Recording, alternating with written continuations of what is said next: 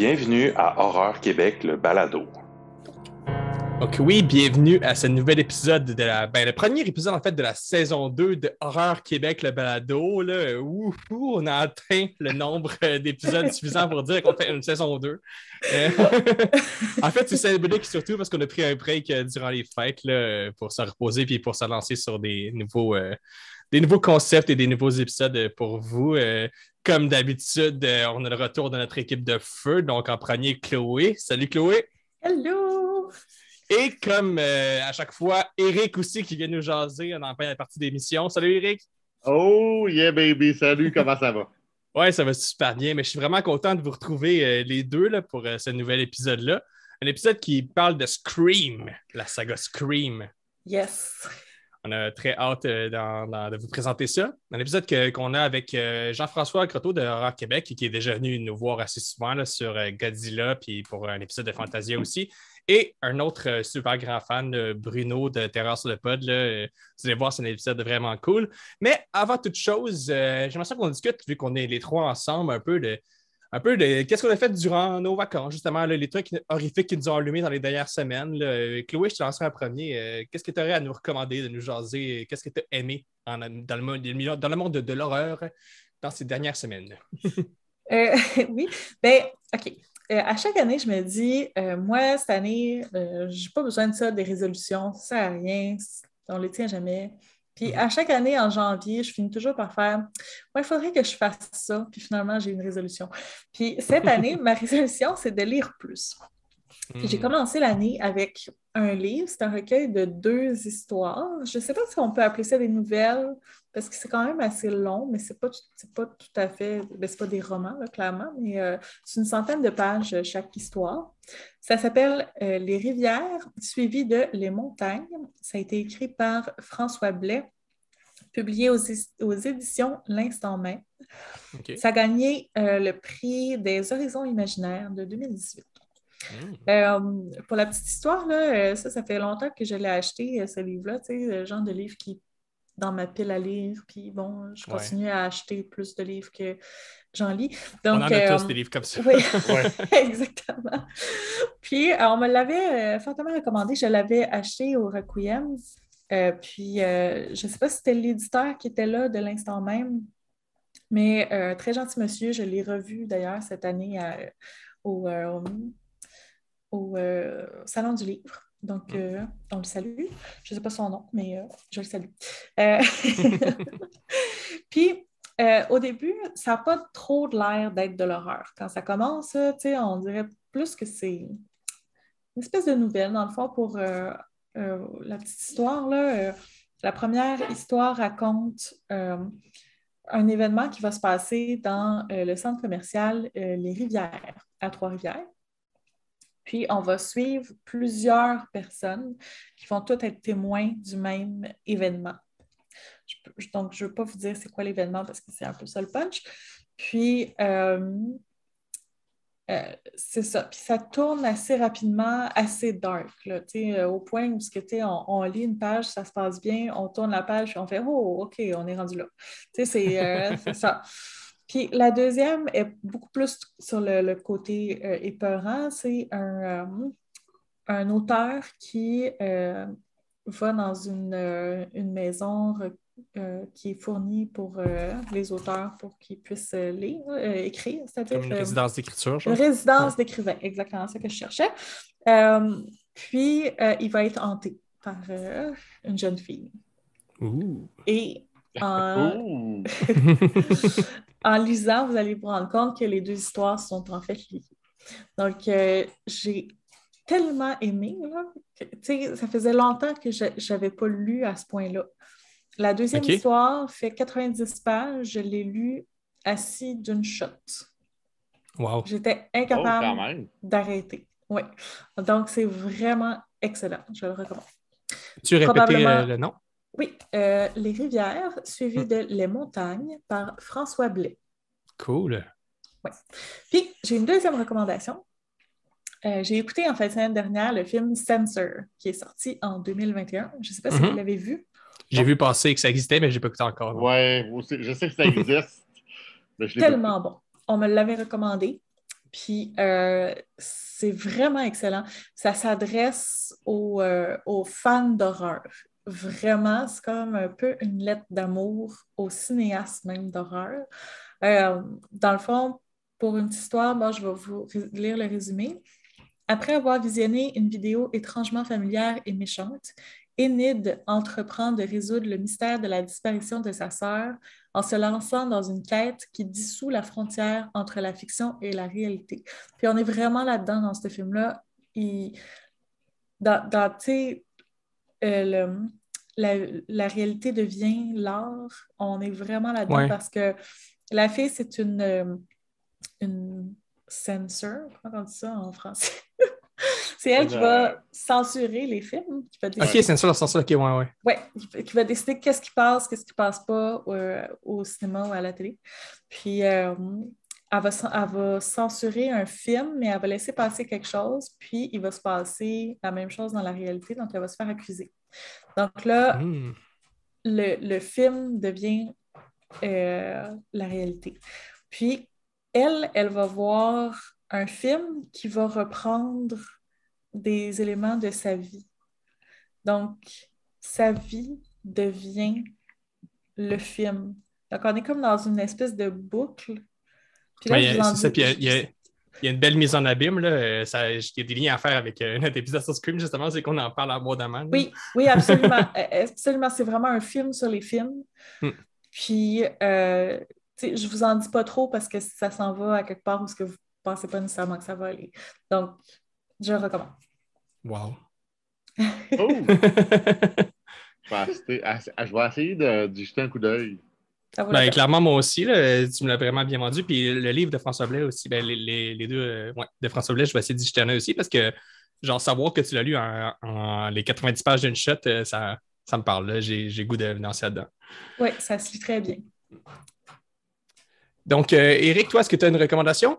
Hey, j'en ai même deux petites à vous faire. Wow, Parce cool. que, écoute, je pense que c'est c'est là, je pense que c'est ma première participation au.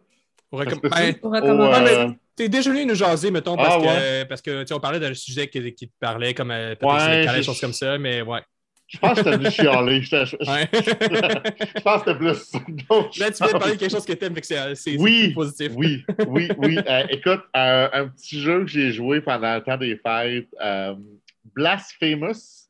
C'est un petit jeu euh, vidéo euh, métro, euh, Metroidvania, Ok, ouais. euh, un mélange de, de, de Castlevania et de Metroid, Mhm. euh, qui est disponible sur la Nintendo Switch, sur la PS4, sur la Xbox One, sur PC, sur tout ce que vous voulez dans le fond. Et euh, ça a comme thème, écoute, c'est très, très religieux. Ça tourne autour du christianisme. En fait, un petit résumé, là, une malédiction infâme est tombée sur la terre de, de Custodia euh, et de tous ses habitants. Elle est connue simplement comme le miracle, entre guillemets. Le jeu se déroule dans une terre de religion et de superstition avec de multiples références au christianisme.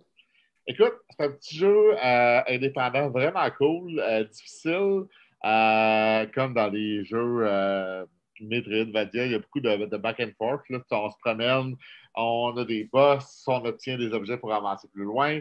Bref, euh, fort sympathique, euh, difficile, je ne l'ai pas encore terminé. Euh, il sais, mais difficile. euh, Une bonne difficulté, là? une Pas, bonne difficulté, ouais. c'est pas, euh, pas chien. là, Si, si tu as du skill un peu puis que tu t'entraînes, tu vas le oui, réussir. oui, oui, Ouais. oui. c'est comme le- je pense que je suis rendu quasiment à la fin. là. Il faudrait juste que je me donne un coup de pied dans le derrière. Mais c'est dégueu. C'est, quand tu euh, obtiens euh, plus de vie tu sais, pour augmenter ta vie, c'est une femme, euh, c'est une femme nue, ben, en tout cas, à tout le moins seins nus, avec plein de, de, si je ne me trompe pas, ou là, je dis peut-être n'importe quoi, là, ou de lames qui, qui la transpercent et qui, qui te donnent de, de la vie. Euh, Ok. Il y a plein, oui, il y a, il y a- il y a plein de monstres, de bébites comme ça, euh, très religieux. Euh, c'est, c'est pas sympathique, pas trop cher à mon souvenir. Ça, je l'ai eu en bas de 20$. piastres, Là. Mhm. Et, euh, si, si vous aimez le genre, je vous conseille.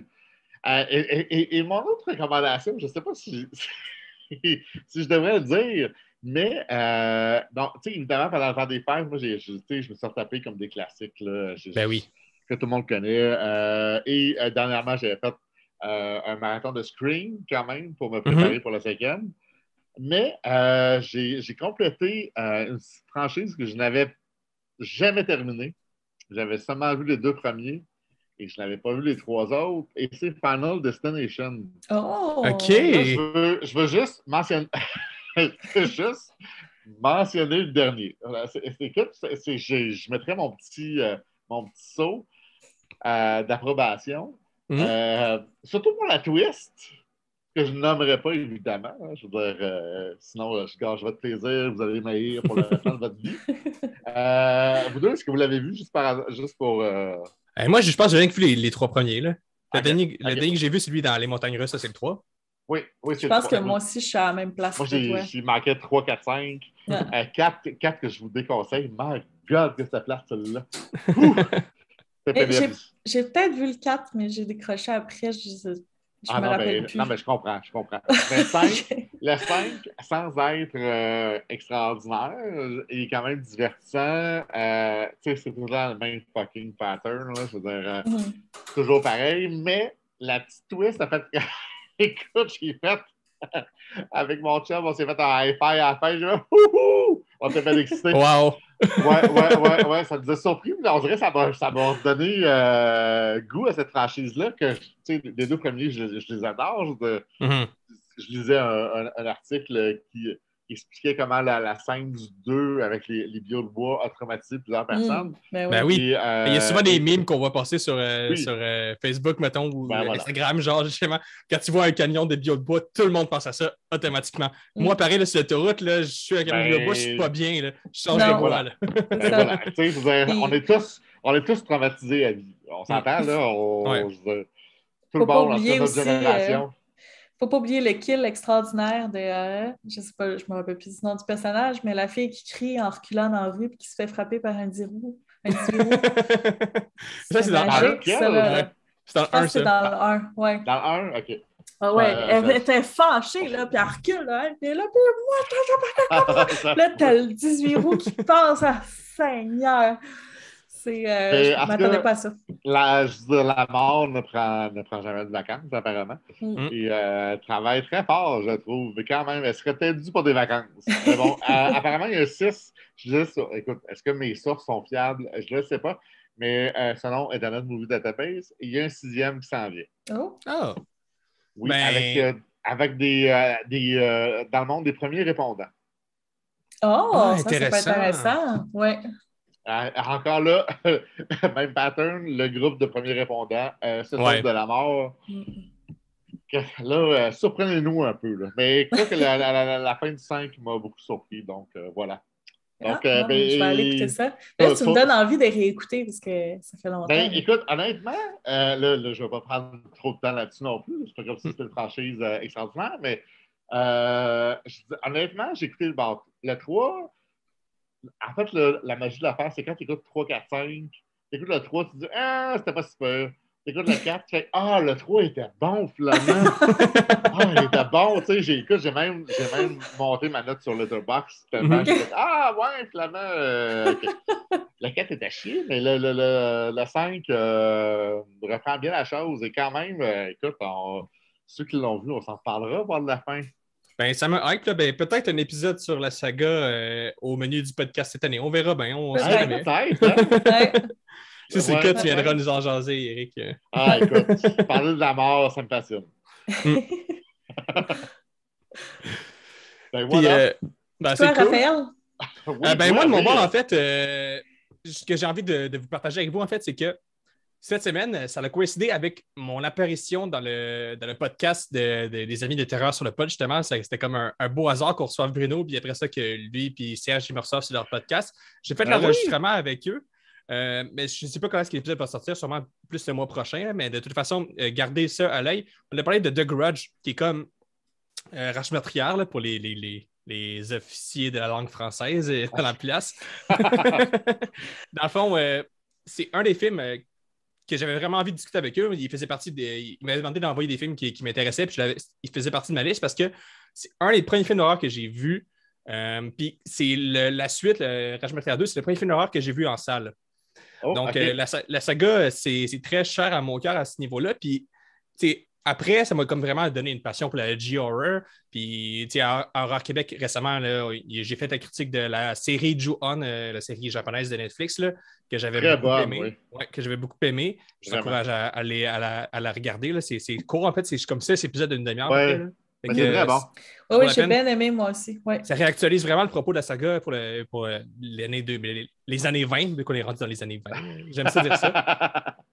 Les Donc, années euh, 20. Ben oui, on est Donc, là. euh, et pour dire, juste pour dire deux mots sur euh, Rage Material puis le cinéma de Takeshi Shimizu, j'ai vraiment apprécié euh, de, de les ré- de le, de le réécouter, celui-là, la version américaine, parce que même si elle ne va pas aussi loin dans son propos sur euh, le cycle de haine et, et sur la- le côté un peu qu'on ne peut pas se sauver de, la rage et de tout ça, ça a quand même un, un propos intéressant. Puis le fait de le rajouter, de faire en sorte que le film ce soit dépaysant avec les Occidentaux au Japon, ça rajoute vraiment une couche intéressante sur euh, le fait que quand tu déc- découvrir, un peu euh, cette haine-là qui existe dans le monde, souvent ça se fait dans des contextes où tu es dépaysé, justement. Quand tu es dans ton quotidien puis dans ton. euh, dans le- day-to-day, puis que tu vis un peu le même jour qui se répète, tu n'as pas le temps ou l'énergie pour euh, réfléchir au monde qui t'entoure, mais quand tu es en voyage, souvent c'est là que tu as des espèces de petites épiphanies. Et c'est ça que j'ai apprécié dans le film, c'est qu'il y a un peu ce discours-là qui, est- ajouté en filigrane. Donc, c'est vraiment un film intéressant. Puis euh, j'ai hâte que vous pouviez découvrir euh, notre épisode avec euh, les gars de sur le Pod. Je pense que vous allez apprécier ceux qui sont fans un peu d'analyse profonde parce que je les ai forcés à réfléchir sur les thèmes du film euh, en profondeur. Et je suis fier de dire que les deux ont rehaussé leurs notes après qu'on ait eu une discussion. Donc, euh, Wow! voilà, c'est comme c'est Wow. pas mal ce qui m'a allumé, là, moi, durant mes vacances euh, récentes. Je me suis tapé des Takashi Shimizu de la saga The Grudge. Ben cool! Super. Pas des vacances plates, ça, là. Non, Non, pas du non. tout. Non, Ben quand même. Quand même. Cool! Fait que, euh, ben, on- je pense qu'on pourrait switcher tout de suite euh, aux nouvelles là, pour parler un peu d'actualité. Eric, qu'est-ce que tu as à Hey. nous présenter? euh? Ben oui, mais là, attends, att- attends, pour ceux qui, qui- qui sont en dehors du Québec qui nous écoutent, nous, euh, les cinémas étaient fermés depuis, Mhm. euh, depuis euh, pas belle lurette, là, mais je, la Avant date Noël. exacte, je la- à moins avant Noël. Euh, Oui, vraiment. Et, euh, et ils ont réouvert le 7 février.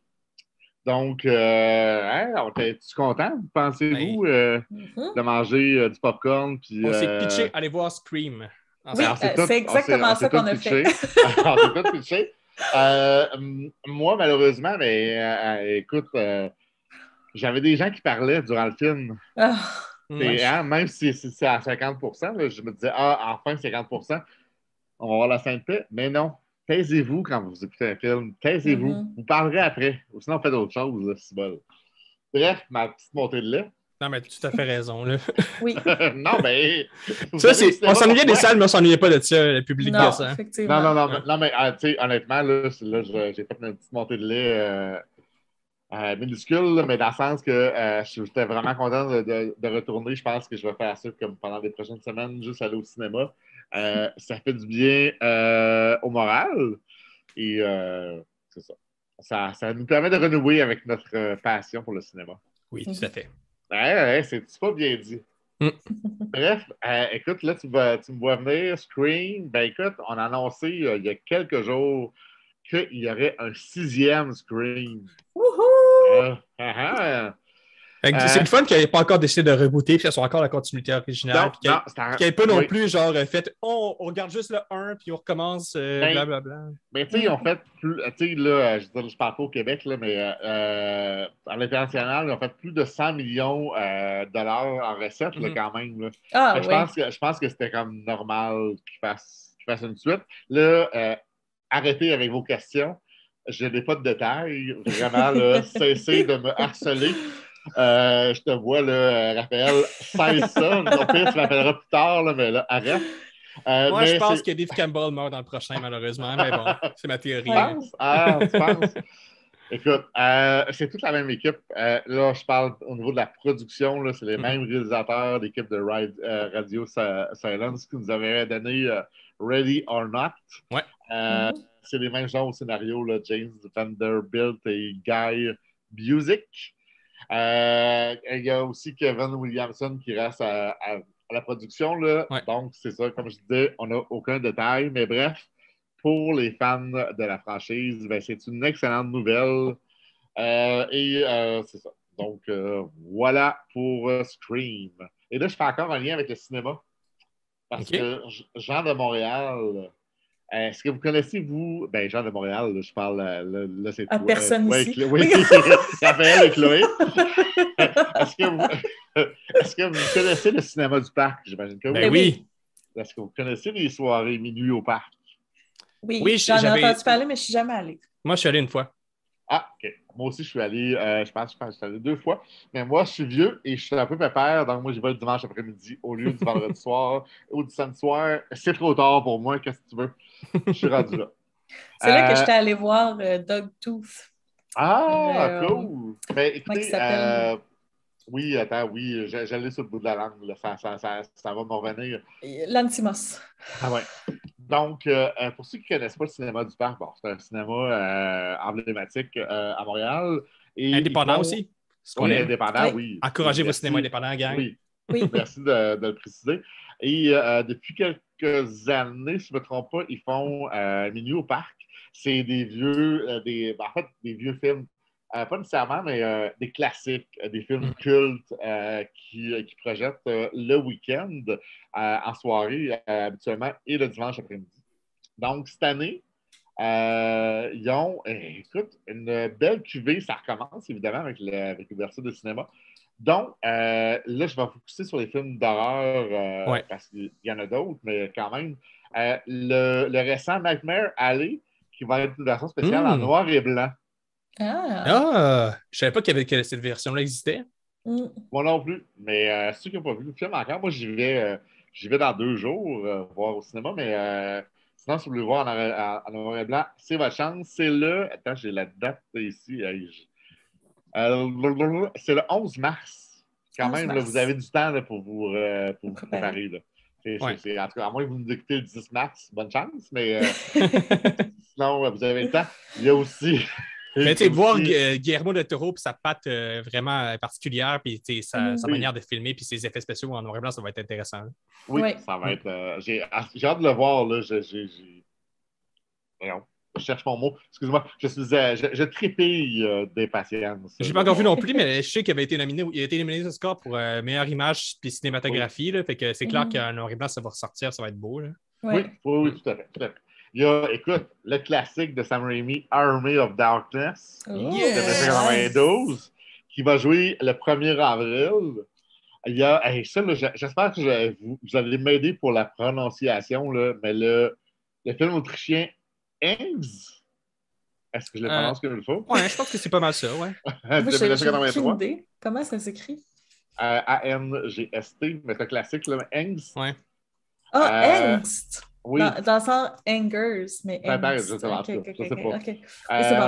Non, mais c'est pire, parce que tu dis que c'était un, un film autrichien, fait que moi, je pensais que tu étais en train de parler. Non, euh, non. à- je ne me rappelle plus quelle langue Mais parle. ça, euh, cœur sensible. Ici, on a mis une note cœur sensible s'abstenir. Donc, Oh, euh, Mhm. ça, c'est je ne l'ai pas vu encore. Sinon, il y a Deliverance de John euh, Borman. Très bon film aussi, le 22 avril. Mhm. On a aussi euh, Cure, que je ne connais pas de 1997. Hey, là, ça, je vais le massacrer. Là. Kiyoshi Kurosawa. OK. Bien. Euh, que, que, que, que je connais pas. Si ça vous intéresse, c'est le 18 mars. Et en fait, c'est, oui, c'est, ça dit essentiel, mais c'est, c'est, c'est un classique pour moi, un, un film plus que culte. C'est, c'est, c'est, c'est un film euh, parfait dans mon cas. Euh, The Shining, le 29 Oh, avril. nice. Donc, si, ça vous, si le cas vous en dit, là, euh, allez sur le site du Cinéma du Parc, achetez vos billets de là. Sinon, aussi, euh, je peux les dire vite, vite, là, il y a Silent Green le 4 mars. Euh, il y a euh, Short Boss, Short Boss, hey, Dieu, j'ai de la misère, euh, le 25 mars. Et euh, Wild at Art le 8 Wild at. Heart avec Nicolas Cage. Oh, Oui, yeah. le- de David Lynch. C'est tellement bon. Celui-là, je l'ai écouté récemment, je l'avais jamais vu. Euh, Ah. recommandation euh, Bon, supplé- mon supplémentaire. Ah, je voulais juste, je veux juste le nommer pour que tu puisses le plugger. Hey, euh, je reviens sur euh, angst. Oui. Euh, ça a été banni partout à travers l'Europe pour violence extrême en 1983. Oui, oui, oui, tout à fait. Oui, Et quand tu disais cœur sensible s'abstenir, euh, Ouais, Ben voilà, c'est voilà. ça. Je- écoute, je je vais terminer avec une nouvelle qui me fait plaisir et euh, j'ai très hâte de voir euh, cette cinquième saison-là. En fait, je suis. En fait, je dois me confesser.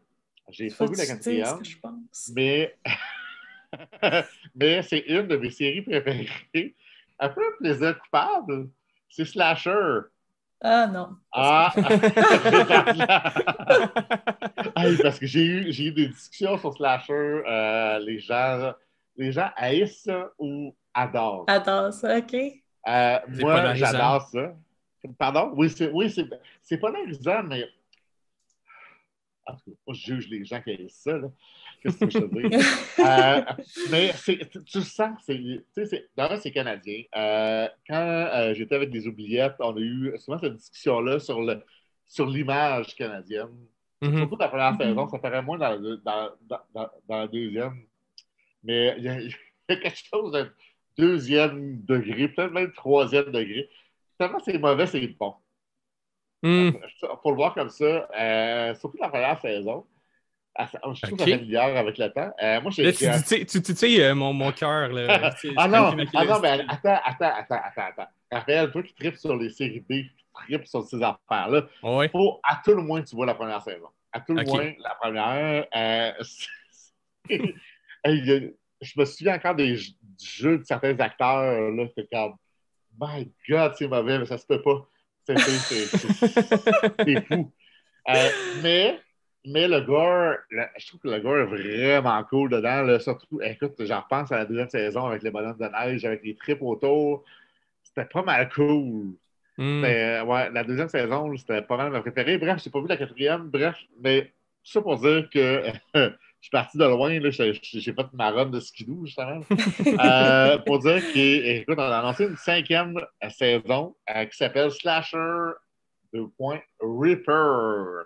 Oh! Et là, on se retrouve à, à la fin du 19e siècle. Une meurtrière traque les rues, mais au lieu de cibler les pauvres et les opprimés comme Jack l'Éventreur, la veuve, qu'elle s'appelle, rend justice aux riches et aux puissants. Malade. La seule personne qui s'oppose est la détective, et le détective, pardon, nouvellement promu, Kenneth Ridge Kurz, dont la foi à toute épreuve envers la justice pourrait se solder par une autre victime. Donc, ça met en vedette euh, Eric McCormack, qui était, la, qui était la vedette dans Will and Grace. Mhm. Mhm. Donc, euh, j'ai très hâte de voir ça. Ça va être euh, disponible. blablabla. Ben, en fait, non, ça sera disponible. La production débutera ce printemps. Ah, Ok. Donc, il n'y a pas de date encore. Et c'est comment ce Euh, printemps? On peut s'attendre à peut-être euh, à l'automne ou au début d'hiver Ah, 2023. peut-être, Mm. peut-être. Et euh, petite précision, la quatrième saison se retrouve euh, chez Hollywood Suite, euh, qui est disponible sur euh, Amazon Prime. Ah, Donc, cool. euh, euh, tu sais, il faut être abonné à cette chaîne-là. OK. dont je suis. Mais euh, les autres, euh, écoute, si je ne me trompe pas, là, euh, sont peut-être disponibles sur Netflix. En tout cas, à l'époque, ils étaient sur Netflix, ça a peut-être disparu, je ne sais pas. Euh, je vais mettre mes recherchistes là-dessus. C'est bon. mes nombreuses recherchistes. Non, pour les recherchistes de Rock Québec qui travaillent sans Ben, arrêt. écoute, jour et nuit, ça peut aller les voir, là, mais sinon, ça va super bien. Mais écoute, ça m'a fait tellement plaisir de vous retrouver. Ça faisait longtemps, je m'ennuyais de vous. Ouais, Euh, nous aussi, je suis euh, sûr, là, Chloé. euh, En tout cas, je parle pour toi, mais moi, je m'en de toi, en tout cas. Ah! Ben oui, je m'ennuyais. Ben, écoute, je suis content de, hein, avec votre belle énergie. Mm. Bref, euh, moi, je vous souhaite euh, écoute, une belle semaine. Amusez-vous donc. Hein, les, gens, les, les- les- les gens sont un peu tendus euh, ces temps-ci. Ah, Euh, c'est la, la température. Oui, mais tu sais, euh, répandez de l'amour, répandez ce que vous voulez autour de vous, mais tant que vous faites euh, le, le bien. Donc, euh, Mais c'est ça, on Oui. focus sur le positif. On va voir des films dans les cinémas indépendants, puis on Oui, mange oui, du popcorn, oui. puis on, oui, on puis prend ce cinéma, si bol, puis Puis- c'est ça, amusez-vous. Oui, On écoute Slasher sur Netflix parce que j'ai vérifié vite, vite. il est là? Il est disponible les trois premières saisons. Ah, sur yes. Netflix. Donc, Raphaël. J'ai aucune excuse. Ah. Je me lance là-dedans. Oui, oui, mais euh, euh, ça aussi, ça serait une autre excellente idée d'épisode. Les Ouais. slashers. Un. Ça, j'en, j'en aurais long à dire. C'est bon, regarde ça en C'est tête. bon? Ben écoute, Ouais. hey, ben, euh, j'ai déjà hâte de vous voir. Là. J'ai, j'ai pas envie de partir. Là.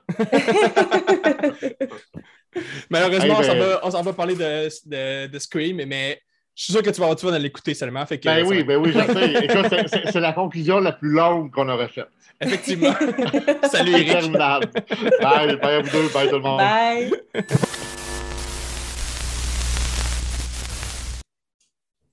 Donc, on se retrouve avec Bruno de Terra sur le Pun, qui est venu aussi pour notre épisode sur Halloween, et euh, Jean-François de Horreur Québec, qui est avec nous pour Godzilla, puis euh, l'épisode aussi sur Fantasia. Bienvenue à vous deux.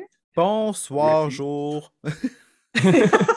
deux, euh, deux invités qu'on avait hâte de recevoir à nouveau, en fait, là, parce que Mm-hmm. vos, vos épisodes ont, ont super bien marché. là. Godzilla et Halloween, ils font partie de, de ceux que le monde a le plus apprécié. Donc, on est vraiment content de vous retrouver. Puis, on sait qu'en plus, c'était vraiment la bonne occasion de vous ramener, de parler de Scream. Ah! Parce que vous connaissant tous les deux un petit peu en dehors euh, de- du podverse, euh, on sait que vous êtes des grands, grands fans de, de Scream. Donc, on est vraiment content de vous en parler avec vous. D'autant plus qu'il y a le nouveau film à se mettre dessus là-dedans. là. fait que c'est vraiment très cool. Hmm, Même si le L n'est pas pointu. Donc, euh, comme, euh, comme d'habitude, euh, on vous propose de faire un retour un peu chronologique sur la saga en, en, en amenant un peu des points de vue qu'on a chacun sur les thématiques, la manière comment ça a été tourné, vous donner des anecdotes aussi de temps en temps. Et évidemment, nos avis pour terminer avec le Scream 5, qui, on- qu'on va vous faire une petite critique, discussion maison pour parler. Est-ce que, qu'est-ce qu'on en a pensé?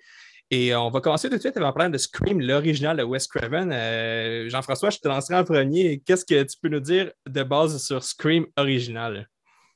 Euh, moi, je l'ai vu, je me rappelle que j'ai vu le Scream original le jour de Noël, le 25 décembre, Wow. en après-midi. Wow, Et, quel beau Noël ça a dû être. Oui, ça, ça a été un très beau Noël, tu as tout à fait raison. Euh, la première affaire que j'ai envie de vous dire, c'est qu'on a eu droit à un coup de génie d'une jeune productrice un peu qui est Drew Barrymore, qui anonymement euh, a produit, euh, a été très, très, très investie dans le premier frisson.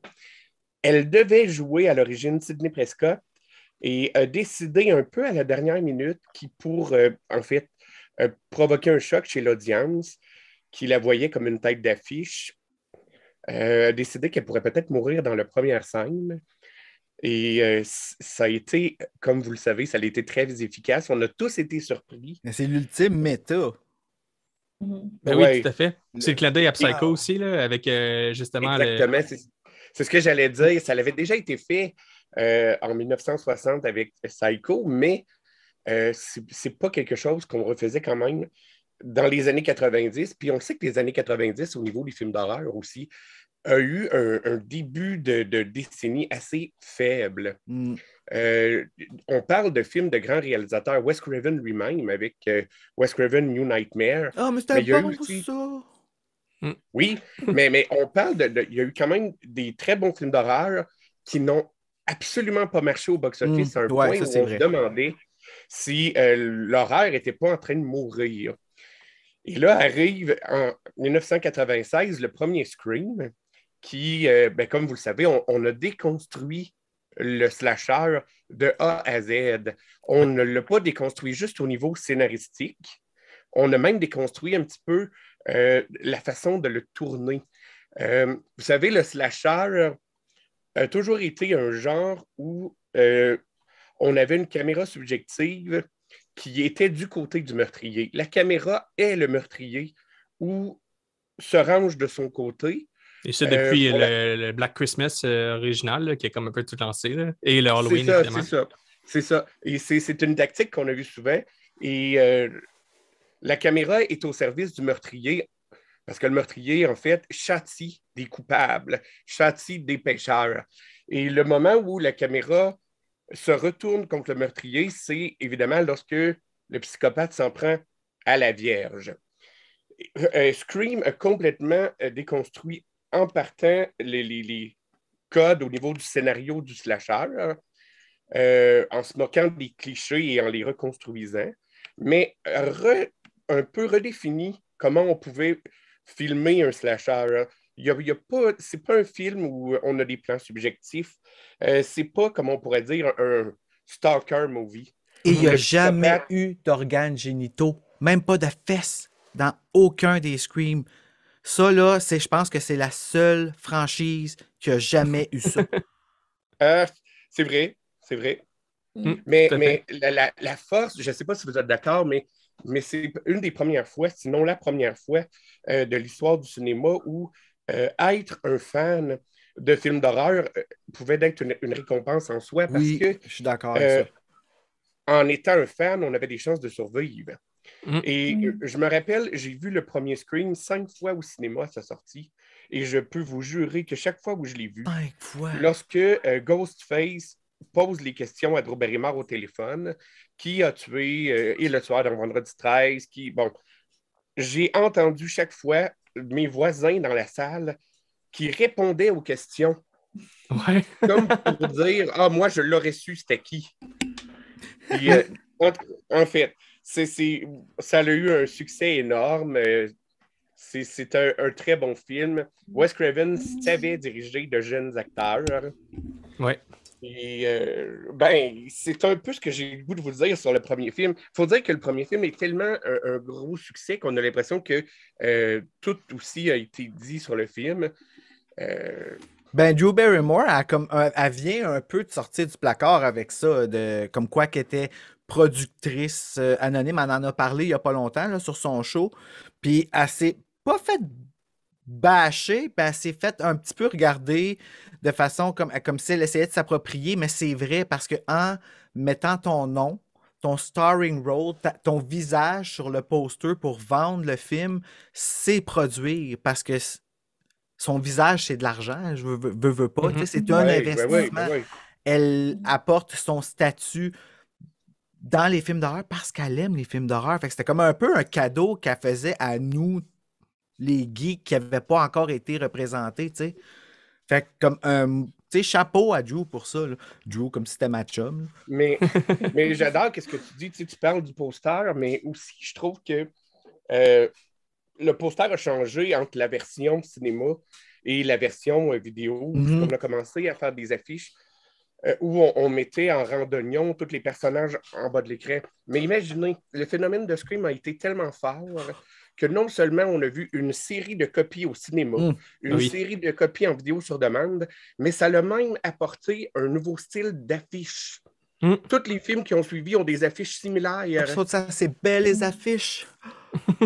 Ah, mais c'est c'est quand même assez drôle. On dirait que c'est un courant cinématographique au niveau des affiches. Ah, mais oui, mais Ouais. c'est c'est ça qui est beau. Puis encore aujourd'hui, je regarde ça, puis faut pas oublier, c'est quelque chose qu'on on semble ne pas avoir remarqué, c'est aussi à quel point Chucky a suivi Scream. Puis c'est pour ça que Chucky, c'est un peu la seule franchise qui a encore la même storyline qui continue puis qui fonctionne. Ça a suivi Scream. Quand Scream est arrivé en méta, là, Chucky a fait fuck it, Bride of Chucky. On a-tu le droit de sacrer? Oh, oui, Oui, t'as le droit. Ah. Euh, mais tu comprends ce que je veux dire? Tu sais, même le poster de Bride of Chucky, il a même pas essayé de cacher qu'il imitait le Non. magnifique poster de Scream 2, les deux faces. Et quand j'ai vu ça la première fois au cinéma, d'accrocher au mois de septembre, ben non, au mois d'octobre, quand I Know What You Did Last Summer est sorti, on est allé, puis il y avait les posters na- comme Coming Soon, puis il y avait le poster du 2. Hey, je vois ça, ces deux faces-là, moi. Oh my God! Puis la fille, je la regarde, Jada Pinkett, je savais pas c'était qui. Puis j'avais commencé à aller faire des recherches. Puis quand j'ai vu que c'était elle qui allait faire l'opening du deuxième, là, j'ai capoté. Capoté. Mhm. Je l'adore. là. OK. Excusez, euh, j'ai comme parti trop loin encore une fois. Ben non, mais, mais- c'est c'est vraiment intéressant qu'est-ce que tu dis, euh, parce qu'on en est dans une, une culture cinématographique où euh, les posters des prochains films, qui quelque part sont, bon, c'est peut-être un peu méchant, mais sont tous des, des pâles copies de Scream, il faut le dire, même les meilleurs, euh, ont même On s'entend bien pour Les- ça. Là. les Moi, affiches- t'as pas besoin de censurer tes, euh, de peser tes mots. là. Moi, je suis d'accord avec tout ce que tu dis en ce moment. Non, non, non, mais... non, mais ce que je veux dire, c'est que c'est- tellement intense qu'on a- on en a même copié des affiches Ouais. Euh, on a copié le style de costume pour plein d'autres films, dont Urban Legend. Qui est un des, des, des, des, des six enfants de Scream les plus évidents. Là. Oui, euh, oui, puis même si euh, je veux pas euh, vraiment bâcher sur le film parce que je, je trouve qu'il n'a pas eu le succès mérité, je le trouve quand même euh, extraordinaire pour plusieurs raisons. Urban? Mhm. Oui, Ah ouais, euh, il a, il a quand même bien marché, ce film-là. Mais mettons, il n'y a Hmm. clairement pas la même aura qu'un Scream ou qu'un, même Oui, qu'un ben, c'est- I Know What You Did Last Summer. Là. Ben, c'est parce que c'est deux ans après, tu sais, c'est... Ouais, mais même. ben, si on parle au Québec, euh, Urban Legend a eu une sortie quand même très limitée dans les salles de cinéma. Euh, je me demande même s'il y a eu une version française dans les salles euh, comparativement. à- Ouais, ça c'est vrai, il est en anglais, moi, quand je suis allé le voir. Ici Puis, à tu sais, Gatineau. ça, ça en dit déjà un peu long, euh, j'ai l'impression. Mais Mais, il n'est pas doublé au Québec, Légende urbaine. C'est un doublage français qu'on a acheté. que C'est ça, gars, tu vois, Mm. c'est peut-être déjà. Fait que, que- c'est- tu- vois, tu viens de répondre à notre question, de, à la question de notre pilote de terreur sur le pod. On l'a jamais sorti, Urban Legend, parce que c'était notre. euh, Hey, ma voix shakeait dans l'épisode, c'était horrible. Allô, on va parler d'Urban Legend. J'étais avec Serge, tu sais. Qu'est-ce que c'est ça? Oh, excusez, continue. Non, c'est correct. Non, euh, non, mais, mais, mais je pense que c'est tout un peu ce qu'on pourrait dire. Mhm. Du premier film, c'est peut-être le plus facile à aborder. J'ai le beau rôle ce soir parce qu'en bout de ligne, euh, c'est celui que tout le monde aime et c'est celui qu'on n'a pas nécessairement à défendre. Fait que c'est pour ça que j'ai hâte de vous écouter sur les autres. Ben, avant vrai, qu'on hein? qu'on switch, euh, j'aimerais ça peut-être euh, glisser deux mots sur euh, ce qu'on en a parlé rapidement au début de, de- de l'épisode sur le côté justement euh, que de, de- un peu bait and switch de, de- que Drew Barrymore soit comme un peu la tête d'affiche, mais que ça a été switché en milieu de film. Ce côté-là, là, euh, là, c'est peut-être le gars de littérature en moi qui, qui ressort, mais on appelle ça beaucoup, ben, ça, ça s'appelle la dilution de la fonction sujet. C'est un peu le même principe que justement Hitchcock et puis euh, le Psychose, mais je trouve que c'est intéressant justement que Wes Craven aille vers, vers ça, parce qu'il y avait déjà ce côté-là un peu dans Nightmare on Elm Street, parce que quand le film commence, on a l'impression que ça va être Tina, un peu le personnage principal, mais rapidement, ça switch c'est pour. vrai, euh, ça. ouais. Puis euh, je trouvais ça int- intéressant qu'il se fasse un peu référence à lui-même aussi en même temps qu'à Psychose euh, par rapport à ça. Euh, puis tout le côté. Scream, justement, c'est remettre, de, remettre un peu au goût du jour les codes du cinéma d'horreur, mais en même temps, c'est une manière pour Wes Craven, je trouve, de comme se parler à lui-même, ben, se figurer un peu son cinéma à lui-même, puis tu sais, de se faire des clins d'œil à lui-même, puis de dire genre, je, je suis au courant que ça existe, j'ai des faits, j'ai participé à, à- à ça aussi, tu sais, et on, dans, le- dans le 1, c'est le plus évident, c'est qu'il y a son caméo, c'est qu'il est déguisé en Freddy, là, qui fait le concierge. Oh. Ah, mais tu sais, on est-tu content d'avoir. Puis là, les Weinstein, ils ont fait couper à la scène qui est dedans dans le 4. Ah! Continuez pour euh, Mais il y il a- reste que quand même, euh, Raphaël, pour- Mm. C'est tellement vrai qu'est-ce que tu dis, mais aussi, il a quand même réglé des comptes avec euh, C'est ça. l'ouverture. ben, c'est là que je m'en allais, fait que vas-y. Ok, vas-y, je te laisse parler. Qu'est-ce que tu veux dire, régler des comptes? Non, mais vas-y, Hey. Jeff. Ben, il a réglé des comptes parce qu'on on sait tous, en tant que fan, que Wes Craven a eu euh, son lot de problèmes avec la New Line Cinema à propos de la franchise de Mm. Freddy. Mhm. Puis euh, une des premières choses que Drew Barrymore va dire à Ghostface au téléphone, c'est que le premier Nightmare on Elm Street est vraiment très bon, mais que les autres sont pourris. Ouais, mais c'est pas lui qui a, demandé de dire, qui a demandé de dire ça, c'est elle. Non, je sais. Euh, Ouais, mais on dirait qu'on on, s'entend- qu'il l'a pas coupé non plus, tu sais. C'est ça. C'est son film pareil, là. Tu sais, on a, on a beau me dire que Kevin Williamson écrit le scénario. euh, on sait que Kevin Williamson réécrit ses scénarios un million de fois durant le tournage. J'ai vraiment l'impression que quand il a su que c'est Wes Craven qui le tournait, il s'est amusé à mettre ce petit dialogue-là. Euh, puis en plus, les fans, on est tous d'accord avec ça. Fait que c- il était temps qu'on souligne que Wes a fait quelque chose d'exceptionnel avec le premier Freddy. Yeah, well, the first one was, but the rest sucked. Ah, c'est tellement parfait. Oh, God. Tu sais, puis c'est le fun parce que dans ce temps-là, moi, je commençais à écouter des films d'horreur parce que, euh, je- je- en tout cas, j'ai j'ai parlé, de- vous irez écouter mon podcast, vous allez connaître mon, euh, ma- mon historique avec les films d'horreur, mais moi, je recommençais avec Scream. Mon père me l'avait loué parce que il pensait que c'était un film sur les livres frissons.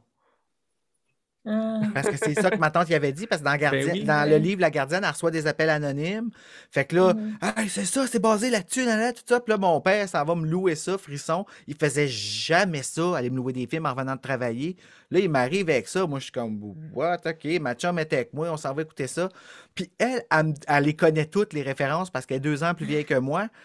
Puis elle, elle avait le droit d'écouter des films d'horreur. Elle a mis dit tout. Moi, je suis comme, what, c'est la petite fille de E.T. Oh my God, elle est morte. Oh, elle a joué. Elle était dans The Craft, elle était assez belle. Puis là, parti le gars, parti. Le Billy qui arrive, le petit gay caché qui est en dedans de moi, qui, qui tombe en amour, qui se peut plus. Puis là, j'apprends que c'est lui. Scandale. Mais, mais ce, que tu, ce que tu dis aussi, tu sais, tu dis j'apprends. Mais c'est drôle parce que. Ah, attends, t'as été censuré, j'ai pas compris. Ouais, je, vais- je vais couper, je vais revenir, c'est cause le chien Chloé s'est mis à japper. Ben, mais ce que, je dis, ce, que, ce que tu dis, ce qui est intéressant un peu, c'est que tu dis que tu as été surpris quand tu as vu que, bon, c'était le- le- le- l'acteur que, que tu avais aimé durant tout le film qui était le tueur, mais c'est quelle stratégie aussi euh, de rendre ton meurtrier euh, coupable au début pour, qu'on, pour que les fans du genre le, le- l'éloignent de la liste des suspects par la suite, parce que la stratégie du premier Scream, c'est dès le départ de nous faire soupçonner Billy Ben oui. pour que justement ceux qui sont plus euh, connaisseurs se disent voyons, on ne peut pas soupçonner le bon au début, ça n'a pas d'allure. Oui, mais il meurt. Quand il meurt, tu sais, quand il fait sa mort, tu sais, c'est- comment tu veux le soupçonner après? Mais là, moi, j'étais comme, non! Oh non, il est trahi! Puis il l'aimait! Puis oh my god! C'était... Écoute, je capotais, mais tu sais, comme tu vois, je m'investis juste un peu. Mais c'est ça, ce que tu dis, Jeff, c'est, comme- tellement vrai. J'ai- moi, j'ai fait, fait découvrir à, à ma soeur le premier Scream euh, en m'y retapant pour cet épisode-là.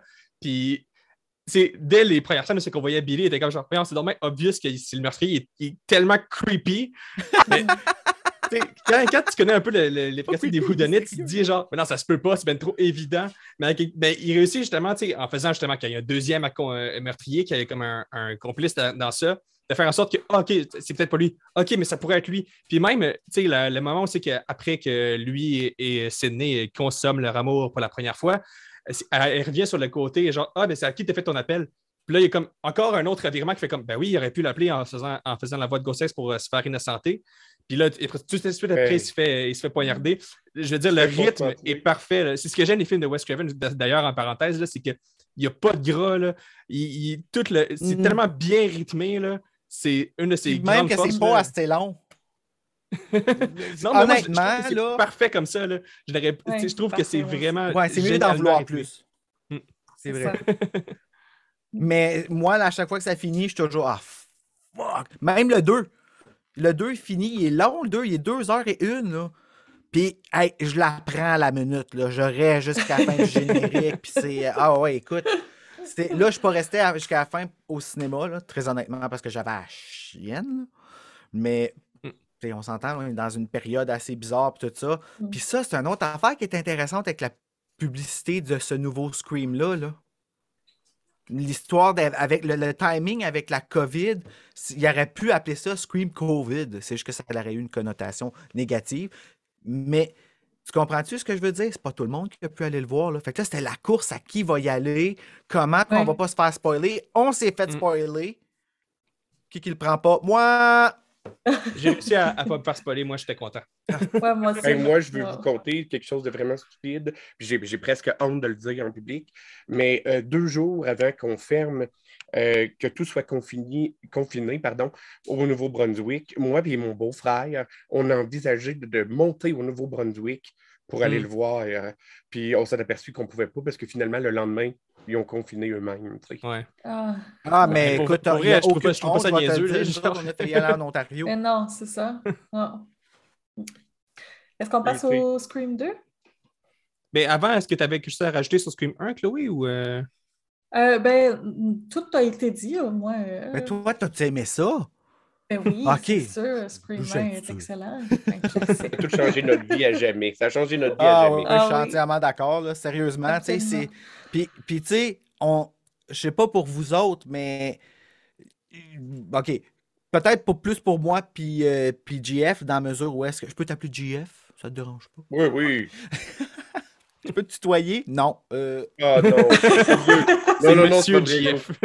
Monsieur Mais Scream, c'est un peu une source de réconfort. Moi, j'écoute ça en me couchant le soir avec l'audio, là, puis j'ai pas peur. Je connais les, les- Je sais exactement où ça s'en va, puis c'est safe. Puis ça fait du bien. Ça me rappelle. Je sais pas, c'est. Il y a peut-être tout ce côté-là qui, je sais pas si on peut appeler ça de la nostalgie après 25 ans. Ben oui. Ben oui. Mais d'après moi, tu l'avais même au début, ce sentiment-là. Puis Oui! je te dirais que je crois que Scream, à sa façon, a été un film qui a inclus un petit peu les, les marginaux. Ben, disons-le, quand on est des fans d'horreur complètement euh, euh, névrosés qu'on en mange, on est parfois euh, regardé de travers un peu dans Mhm. notre bonne petite société. Ah ouais, des Puis, couloirs d'école. Dans Scream, là, on a une place. Tu sais, dans Mm. Scream, on a une place. Je veux dire, le personnage même de Randy, qui est complètement oui. hystérique, est un personnage cool. Ah, je l'aime pas, un- moi, Randy. Ah, moi, je l'aime, Randy. I'm sorry, mais je l'aime pas, moi. Moi, j'aime Tatum. Ouais, mais Elle était rencontré là, mais c'est ça. tu ne l'as pas rencontré en personne. non, ben, ok, ouais. Je parle pas de Rose McGowan, je parle de Tatum. Mais, sais. elle a pas peur, elle a pas froid aux yeux, cette femme-là, hein? Avez-vous vu comment qu'elle a chargé sur Alyssa Milano? Ouais, ben, à, Ouais. à peu près sur beaucoup de monde. Ouais, c'est ça. C'est pas Ah, la seule. ouais. Je savais pas ça, pour vrai. Comme, ben, moi, j'ai, j'ai- c'est, c'est récent, là, quand je l'ai vu avec ses cheveux rasés, j'ai fait « Oh, t'es encore là, toi! » Puis, euh, mais c'est parce que moi, elle a resté Tatum. Pas, j'ai jamais suivi après, à part dans Charm. Non, c'est pas vrai, je l'ai vu dans Charm. C'est quand même elle qui a donné son nom à Ghostface dans sa scène de meurtre, qui est la première à avoir vrai? prononcé Ghostface.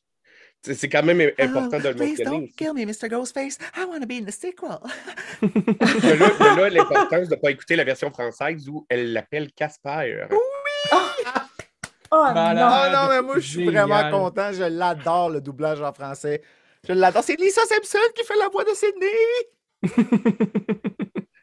C'est vrai, comment qu'ils l'appellent en français, euh, Ghostface, à part? C'est souvent le tueur au masque. Le tueur au masque. Le tueur au Le tueur masque. au masque, OK. Mais dans le Original. premier, elle l'appelle Casper. Elle autant toi à Casper, une affaire comme ça. Là. Puis tu sais, là, t'es là, OK. Ah, moi, j'aime ça au bout. Mais, tu sais, j'ai- j'ai une passion euh, que je ne cache pas pour le doublage parce que pour moi, le doublage au- qu'on a au Québec, c'est notre chance de reconsommer le film pour une, deux, pour une première fois. Fait que Mhm. quand tu, moi, quand Ouais. j'écoute un film en anglais, puis après ça, que je peux le revoir en français, comme là, en ce moment, je me peux plus parce que je ne l'ai pas vu en français encore. J'étais censé aller le voir, puis je suis pas allé finalement. Puis là, j'ai su que dans le film en français diffusé en salle, c'est écrit Scream et non Frisson au début. Ouais. Donc, Mm. j'étais un peu déçu. J'ose espérer que, ben, d'après moi, il ne l'aura pas pointu. Dans les bandes annonces, il l'avait, le N. Je sais que je fais un gros cas avec ça, mais comme tu disais, Raph. OK, puis- attends. Genre, avant, qu'avec- avant que tu te lances là-dessus, explique aux gens c'est quoi ton Oui. le problème du N, parce que nous, on est au courant, parce qu'on s'en est beaucoup parlé, Ouais. mais le monde n'est pas au courant. Ben, fait tu c'est en parle, comment on arrive à ce frisson-là? Ah, ben oui, on pourrait faire ça. Ok, ok. c'est bon. On, introduit, on introduira le, le- le Scream 5 là-dessus. Qu'on peut passer aux deux, comme on avait dit. là. On- J'ai l'impression que cet épisode-là va être déjà assez long comme ça, de toute façon. Donc, Scream euh, deux. Scream 2, moi, j'étais- j'avais, je t'avais demandé d'en parler parce que c'est un que. ben, c'est pas mal. euh, Je sais pas si c'est mon préféré, mais en tout cas, il- c'est mon premier. C'est soit mon préféré ou mon deuxième préféré, clairement. Euh, J'apprécie beaucoup euh, Scream 2. Euh, puis, juste en, en introduction, avant de commencer, moi, j'ai peut-être pas le même rapport que, que vous à Scream. euh, puis c'est peut-être aussi parce que je suis, je suis peut-être un, un peu euh, plus, plus jeune. là. Quand le premier est sorti, moi, j'avais comme 4 ans. puis clairement, je ne l'ai pas vu en salle. Puis, euh, même les suites, le premier que j'ai vu en salle, moi, c'est le 4. Donc, euh, ouais. wow! OK, continue. Puis, euh, puis euh, dans le fond, je les ai découverts comme en club vidéo. Moi, les Scream, c'était des films de, de club vidéo pour moi. là. C'est que je voyais quand je venais aller dans la section horreur avec mes amis, puis on se demandait qu'est-ce qu'on allait louer. Fait que je les ai découverts comme tout un peu comme ça. Puis le 2, j'ai toujours un rapport euh, particulièrement. euh, je pense que je suis pas sûr à 100% parce que ça date de tellement longtemps, mais j'ai l'impression que je les ai vus dans le désordre puis que c'est les deux que j'ai vus en premier. Mm.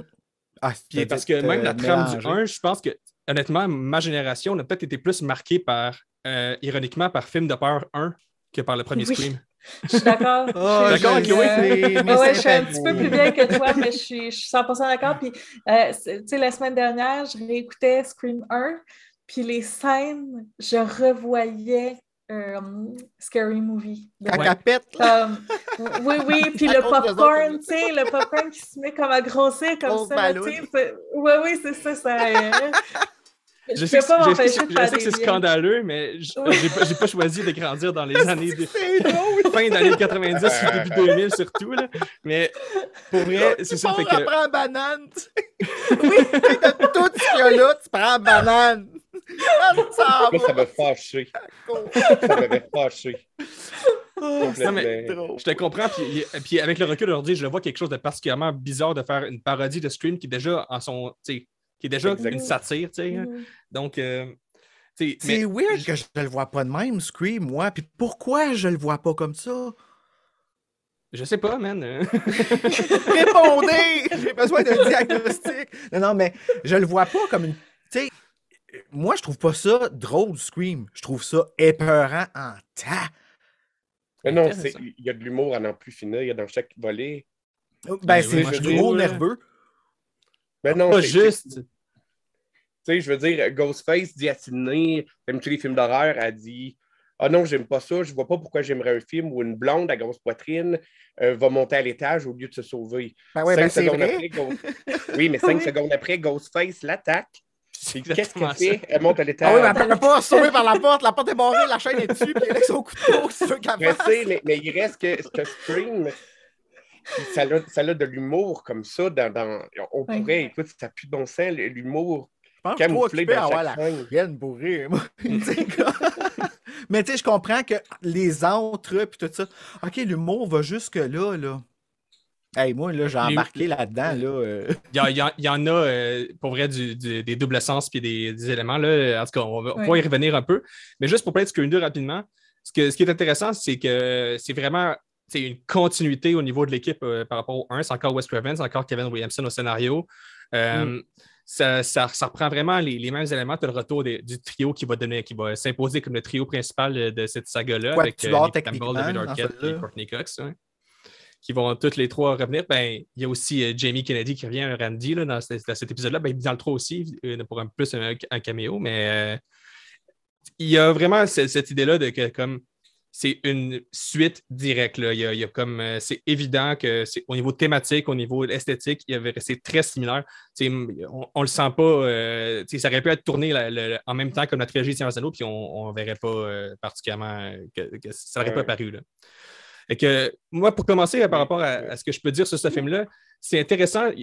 Le côté méta était déjà présent dans- avec euh, les films extérieurs à la saga dans le Scream 1, mais là, à partir de Scream 2, on commence vraiment à intégrer la saga euh, au sein de son propre univers euh, méta avec les- la série des Stabs qui est inaugurée dans la scène d'introduction Hmm. au cinéma.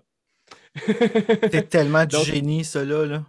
C'était vraiment une belle direction à aller. Ah. Je trouvais ça- C'est vraiment un, un point de vue intelligent pour non seulement continuer de, de- de parler des codes de film d'horreur, mais aussi de, pour le film de continuer, dans- comme je disais tout à l'heure, euh, que Wes Craven euh, était capable de comme, se pointer un peu lui-même. Le film est capable de se pointer lui-même. Puis il y a même des éléments qui ne sont pas, mettons, directement nommés dans le film, mais qui sont traités. Je pense notamment à la présence afro-américaine qui était inexistante dans le Scream 1 puis qui est extrêmement bonifiée dans Scream 2. Puis il y a tout un discours au début du film que, la, que justement Jared Pinkett Smith a dit euh, que le- le- la présence afro-américaine dans les films d'horreur, c'est comme euh, c'est une joke là, que, ça, que soit il est mort en premier ou bien soit que c'est comme inexistant. là. Donc euh, il y a Mm. comme vraiment ce, ce côté-là qui est développé. Puis le, le film, justement, pointe pas du doigt ça, mais le traite quand même. Fait il, y a, il y a plein, il y a plein de- d'éléments qui sont, qui sont comme en ce genre aussi. Je pourrais revenir sur la scène de fin qui est une mise en abîme extrêmement jolie, je trouvais, avec le, côté du théâtre, le dieu, le Deus Ex Machina, qui est sur lequel euh, euh, Jerry O'Connell est, euh, accroché. Puis que la fin, avec, avec justement le. comment il s'appelle? Cotton Wary? Ouais, Cotton Wary qui arrive et qui sauve la situation, c'est un des Oh. Machina quelque part parce qu'on personne ne s'était pas installé. tu sais. Il, il arrive puis comme Ah, j'ai un gun puis euh, je, je règle la situation. Euh, De peine et de misère, là, par exemple. Exactement. Oui, oui, c'est ça. c'est ça, mais, Mais- tout le côté justement tragédie grec est comme un peu renversé par rapport à ça. Il y a vraiment quelque chose de, de très euh, intéressant d'un point de vue méta. C'est pour ça que je pense que c'est un de mes préférés. C'est qu'il y a vraiment de la. de- c'est les- je pense que encore une fois, c'est le gars de l'analyse littéraire à moi qui est, qui est content. Il y a de quoi se mettre sous la dent. Là. Ben, il y en a dans, dans tous les films, évidemment. Mais dans celui-là en particulier, je pense que c'est un des premiers où c'est que j'ai comme vraiment euh, pris un plaisir à, à faire de l'analyse dessus. Là. Euh, qui en a parti de la merde de Scream euh, Billy. Puis tu sais, quand tu penses à toute la trilogie, là, Scream 2, c'est de Scream qui le Scream qui n'était pas supposé arriver. Parce que si on se fie à Roman, mettons, là, exemple, et puis Mhm. imagine-toi, il a fallu qu'il se démarde avec l'histoire de Roman, puis tout là, après ça, pour faire de quoi qui faisait du sens, même s'ils l'ont jamais ramené, là, mais en tout cas. Mais le 2, c'est juste, dans le fond, c'est arrivé parce que la mère à Billy a pété une coche. Puis elle Ouais. est fucking hypocrite, là, entre toi et moi, là, je m'excuse, là, mais Mhm. euh, c'est genre, euh, tu sais pas c'est quoi être une mère. Euh, toi non plus, clairement. ton fils. Mais ce qu'on disait Ouais, tantôt, puis la gestion de. Cohen pour la famille, ce que JF disait tantôt, là, encore une fois, le, le- le- le- le personnage de la mère là, dans la saga des Scream, c'est quelque chose. Là, puis même dans le nouveau, là, quand est-ce qu'on la voit, la mère de la, de la- du personnage principal? Jamais. C'est d'où ça vient les problèmes? De sa mère? Euh, je sais pas, peut-être. Ben, c'est ça qu'on va commencer à développer pour euh, Scream 6. Ouh. Peut-être, ouais, en tout cas. Il y, a, il y a vraiment. euh, en tout cas, j'aimerais ça vous entendre euh, avant qu'on on pourrait parler en plein de, de- de toutes les thématiques en même temps, mais peut-être vous entendre un peu rapidement sur Scream 2. Peut-être Chloé en premier, vu que on- tantôt tu as été un petit peu moins présente. Ben, tu as parlé de la première scène, puis je pense que la première scène du 2, c'est ma scène préférée Ah. de toute la saga. Hmm. Je la trouve extraordinaire. Les, les acteurs sont super bons. Puis, tu sais, le fait que la fille, elle meurt sur scène, tout le monde est debout, tout le monde crie. Et puis puis elle là, bouge pas la Non, c'est ça. Puis là, la réalisation de, de ce qui se passe pour vrai dans le visage des gens, tu sais, puis les, tu sais, qui commencent à comprendre que c'est pas une mise en scène, que, tu sais... Ils enlèvent leur masque, tu revois leur visage défait, qui sont comme genre, oh shit. Ouais, ouais, c'est Et puis ça, elle qui regarde, genre, pourquoi vous m'avez pas aidé? Ouais. Oh my god, Ah. c'est- ah, hey, moi, j'avais la bouche à terre au cinéma. Là, quand ça s'est arrivé, j'étais comme, je peux pas croire ce que j'étais en train de regarder. là. J'avais peur d'être dans la salle. là. Comment t'as dit ça, Jay? Avec le, le visage à Ghostface, Oui. comme en surimpression de Oui, la oui, oui. Mais le monde Oui, dans ça, ils ont dû faire que c'est bien plate, ce film-là. Ghostface, peu longtemps. Là, ça. Mais euh, ah, mais je voulais pas te- je voulais pas te couper, Chloé. non, non, Je- vas-y, vas-y. Mais, mais vous savez que le début de Scream 2 est quand même euh, une reprise presque telle quelle d'un autre slasher Hein? qui est euh, I Know You're Alone, euh, qui est un des premiers films euh, mettant en vedette Tom Hanks. Ah, ouais? D'ailleurs, ouais. Puis qui est un meurtre comme ça dans un cinéma. Et si vous devriez aller voir le film et vous allez, je pense, aimer encore plus le début de Scream 2 après avoir vu ce film-là parce Je que vis pour des moments c'est vraiment ça. intéressant ce que Wes Craven en a fait, mais aussi. euh, Attends, me comment ça s'appelle? He knows you're He alone. He knows He you're know alone. you're alone. Ça He fait know tellement you're type de frisson. Là. Eh oui. Mais euh, ce qui est intéressant aussi, c'est que le début euh, euh, parle d'une première de film, euh, mais attention, on est quand même des années 90 et la première qu'on voit est une référence directe à ce que faisait dans le temps William Castle avec ses gimmicks. Oui. C'est- pas des, des blagues. Là. Là, on a, OK, sur une espèce de poulie, un Ghostface qui va traverser le cinéma. Ah, Traverse la salle. comme William Castle le faisait avec, Avec des ses squelettes. films. Oui, Wow. pour, euh, bon, on le sait, euh, 13 Ghosts ou toutes les autres Mhm. euh, qu'il a fait. Et euh, c'est comme si Wes Craven voulait un peu rendre hommage à- au cinéma de ces années-là, qui finalement est peut-être l'époque où le cinéma de genre euh, a assumé le plus qu'est-ce qu'il était Mm. Euh, Mhm. d'une certaine façon. Et euh, je- en tout cas, moi, j'a- j'adore le croire. C'est un peu une analyse personnelle que je dis, mais c'est sûr que c'est inspiré de ce que William Castle a fait. Euh, Ouais, ben moi, j'ai passé à ça tout de suite quand, quand je l'ai vu. euh, quand je l'ai réécouté récemment. La première fois, je ne l'avais pas catché, mais depuis le temps, j'ai comme euh, un peu eu euh, connaissance de l'histoire de l'horreur. Puis c'est clairement ça. Là. Le côté, Ah oui, euh, justement, tout le monde est. C'est comme c'est presque plus une fête foraine. Il y a un côté vraiment très. euh, justement, le- on, on y- c'est pas des films tant que ça d'épouvante, c'est des films où c'est qu'on y va pour rire et avoir un- du temps, un bon temps entre amis. là. Mhm. C'est ça, c'est comme un. un- c'est presque un manège, ta visite Ouais. au cinéma. Mm. Et puis, l'autre Mhm. affaire que je veux dire rapidement, parce que je sais que je parle beaucoup, c'est que dans les 15 premières minutes de Scream 2, euh, c'est incroyable le genre de sous-thème qu'on peut aborder. On aborde quand même, même une, une guerre des sexes euh, pour choisir le, type de film qu'on va voir. Et Oui. euh, il n'y a pas un- aucun gars de ma génération euh, qui n'a pas été amené avec une fille, qui n'a pas voulu le pousser à aller voir une connerie avec Sandra Bullock. Et quand le, le personnage le mentionne dans le film, on a le goût d'applaudir. Mais on, on- on parle euh, évidemment de, de l'importance des Noirs dans le cinéma d'horreur. On Mm. parle euh, de la différence de goût entre les sexes. Moi, je trouve que c'est super important d'ailleurs de le souligner parce que, euh, bon, on dirait qu'on n'en parle jamais. Puis, il y, a plein de sous-thèmes qui vont venir dans ce début-là. Et le film Stab qu'on voit, c'est une façon de Wes Craven de se moquer euh, finalement des critiques en disant Regardez, si j'aurais voulu faire un mauvais film, c'est ce que j'aurais fait. Ouais. Que Robert Rodriguez qui l'a tourné. Puis, Imagine pour Mais vrai. imagine- tu sais. oui, oui, ben oui, mais écoute, le tueur Ghostface est rendu sur le toit. Oui. Je veux dire, hey, sérieusement, il y a Elle se fait tuer pendant une demi-heure. Mais oui. La fille a des menaces euh, d'un tueur au téléphone parce qu'elle va prendre une douche. en fait, le- le- le- le- le- les quelques scènes qu'on voit de Stab, c'est c'est un secret pour personne. C'est exactement tout ce qu'il ne faut pas faire. quand Eh on non, mais moi, je veux le Mais voir. c'est Scary Movie, finalement. Ah oui, Oui, c'est vrai. C'est vrai, c'est c'est même un meilleur Scary Movie que Scary Movie lui-même. Ouais, même. Oui, parce qu'ils ne savent pas. Où suis-je? On peut-tu faire une petite mention d'honneur à Omega Beta Zeta? Dans le 2. C'est vrai. Oui, oui, Parce oui. que, oh God, c'est tellement. Là, puis moi, là, mon prof d'anglais il me l'avait spoilé parce que j'avais pas rentré parce que j'avais pas 16 ans. Euh, en fait, non, c'est pas vrai. Mm. Je- ouais. Il fallait 18 ans pour aller voir à Ottawa, puis j'avais pas pris de chance pour essayer de rentrer parce que je m'étais fait empêcher de rentrer pour un Watch de la Summer. Je rembarquerai pas là-dedans. On a un épisode là-dessus. Tout ça pour dire que Scream 2, je suis allé le voir la veille du jour de l'an euh, en 97. Puis, euh, je savais qu'elle mourrait. On le voit dans l'annonce qu'elle meurt. Si tu regardes les, le linge qu'elle porte, tout ça, puis quand elle tombe en bas, puis tu la vois très bien tomber en bas. puis No way que tu survis à ça, là.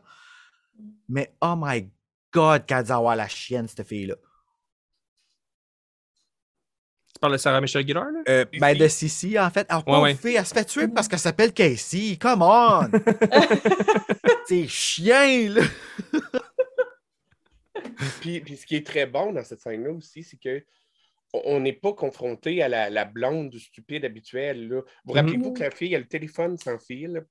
Puis quand elle s'aperçoit qu'il y a peut-être quelqu'un en, en dedans de la maison, elle se dépêche à sortir pour essayer d'appeler la police, mais l'antenne du téléphone ne pogne pas.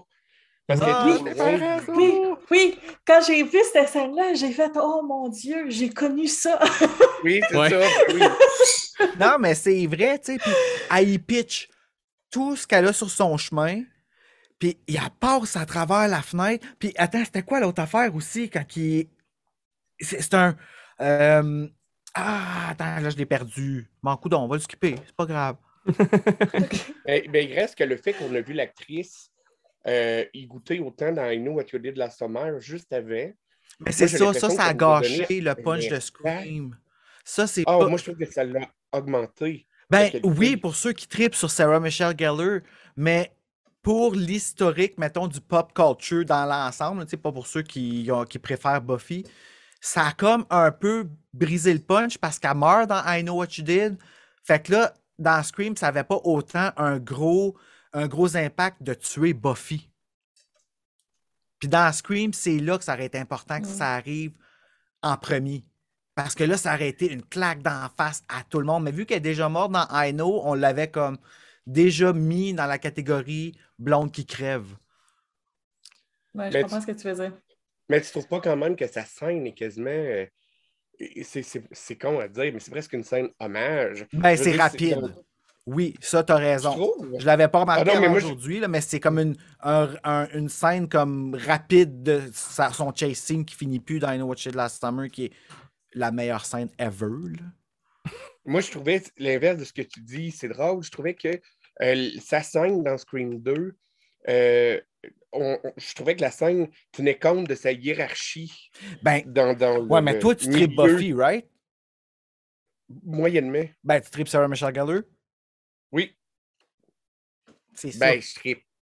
C'est, c'est une actrice de ma génération. J'ai pas le choix de triper. Ben, hey, c'est encore drôle. Hey, là, moi, là, j'ai pas grand monde autour de moi qui tripe Sarah Michelle Gellar. Là. Ben, en fait, qui l'aime. C'est, c'est pas une, une préférée. Puis, sais-tu quoi? Sais-tu pourquoi elle est pas une des préférées? C'est tellement niaiseux. Mais une des raisons, c'est son nez. Ben voyons. C'est stupide, hein? Moi, je le trouve pas son nez! Mais quand j'étais jeune, là, tout le monde disait Ah, mais c'est parce que j'aime pas son nez. J'ai jamais entendu ça. mais- Jamais. Moi non non, vivre dans votre monde. Lévi Vagatino pour le fun. On est peut-être plus vieux. Ben, pas, pas Raphaël, mais en tout cas, moi, je suis peut-être trop vieux pour l'avoir non entendu. on n'a pas mais- un gros écart d'âge. Justement, elle et tout Non, c'est d'accord ça. que Scary Movie, ça a marqué notre génération peut-être un, un petit peu plus, mais, mais ironiquement. Moi, j'étais pas. Mais non, moi, je trouvais- Moi, j'étais euh, euh, le, le garou du campus. Ouais, Oh, moi et tout, wow! totalement. Moi, j'étais trop vieux pour ça, mais je l'écoutais pareil. Mon premier poster, mon premier poster dans ma chambre, c'était un poster de Merton. Hmm. Premier Ah, ça, c'était les- gars les- que j'ai acheté En plus, dans ma chambre. Merton, c'était Ouais, le, geek là, c'était le d'horreur. là. geek. Ouais, ouais. Ouais, qui est super beau, là. ouais. Hey, mais là, on diverge. Là. Ouais, Oui, vraiment, excusez. ah, fait que Scream 2, euh, est-ce qu'on a des choses à racheter ou on passe tout de suite au 3? euh?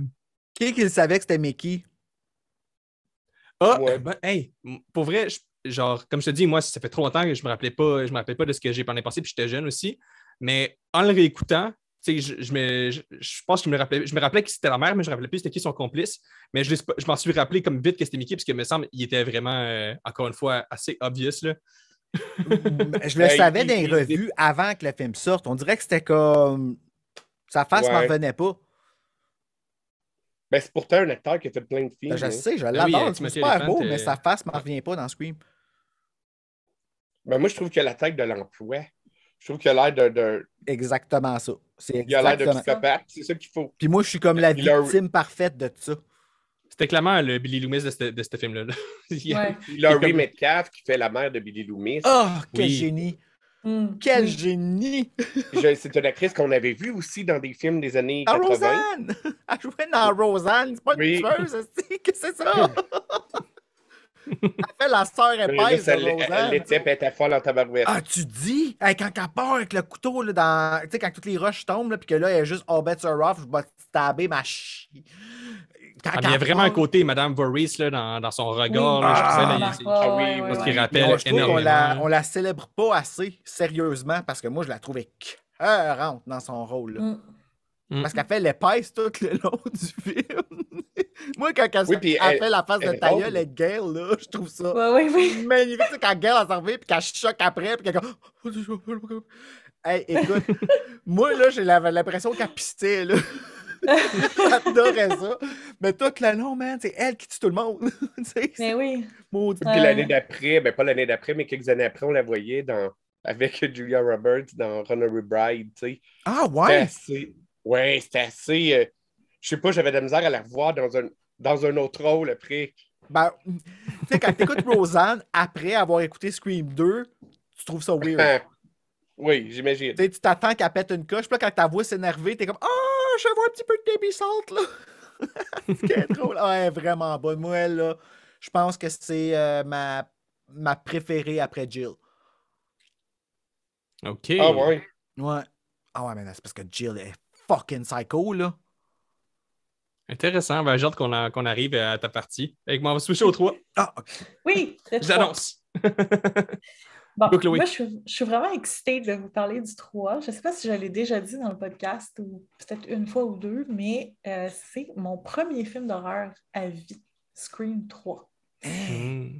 Ouais, fait que, Ah, tu sais, bon. euh, Jean-François, tu disais que tu te rappelais de la première euh, fois que tu as vu Scream 1. euh, Bruno, Scream 2, c'était c'était la veille du jour de l'an, je sais pas trop. Puis, euh, fait que moi, là, Scream 3, c'est gravé dans ma mémoire. là. Euh, dans le fond, mes parents, ils, ils refusaient que j'écoute euh, des films de 13 ans et plus. Tout ce qui était de 13 ans et plus, puis j'avais pas 13 ans, ils me disaient non, mec, t'as 13 ans, Oh my god. pouvoir 13 écouter des films. Des... Ouais, c'est ça. Fait que, euh, fait que, j- j'avais, je devais avoir, c'est sorti en 2000, puis je l'ai vu en DVD, fait que je devais avoir 11 ans. Le Collector's Series, qui est la seule édition. oui, c'est ça. puis, euh, c'était la fête à une de mes amies, puis c'est elle qui avait choisi Scream 3. Fait que moi, j'avais pas 13 ans, sauf que j'étais pas chez nous, mes parents avaient rien à dire. Fait que j'ai pu écouter le film. Puis là, on était toutes, euh, on était une petite gang de filles, toutes euh, en mitouflées, on écoute le film, puis tout ça. Puis euh, moi, quand j'étais petite, je sais pas pourquoi, mais j'étais très. Je faisais ma toffe. Les autres, il y avait leur- leurs affaires, leurs, euh, leurs problèmes, tout ça. Puis moi, j'étais comme, non, non, je suis capable. C'est moi qui gérais la gang. Puis tu sais. Fait que le soir est venu le temps de se coucher. Tout le monde dormait euh, dans, la, dans la, la maison puis, euh, de mon amie. Puis elle avait comme un grand lit. ça devait être un lit queen parce qu'on dormait comme quatre filles dans le lit en- ce, ce soir-là. Puis personne ne voulait dormir sur le bord du lit parce que tout le monde avait peur de Scream. Puis moi, j'étais comme. À Ben cause du non. 3?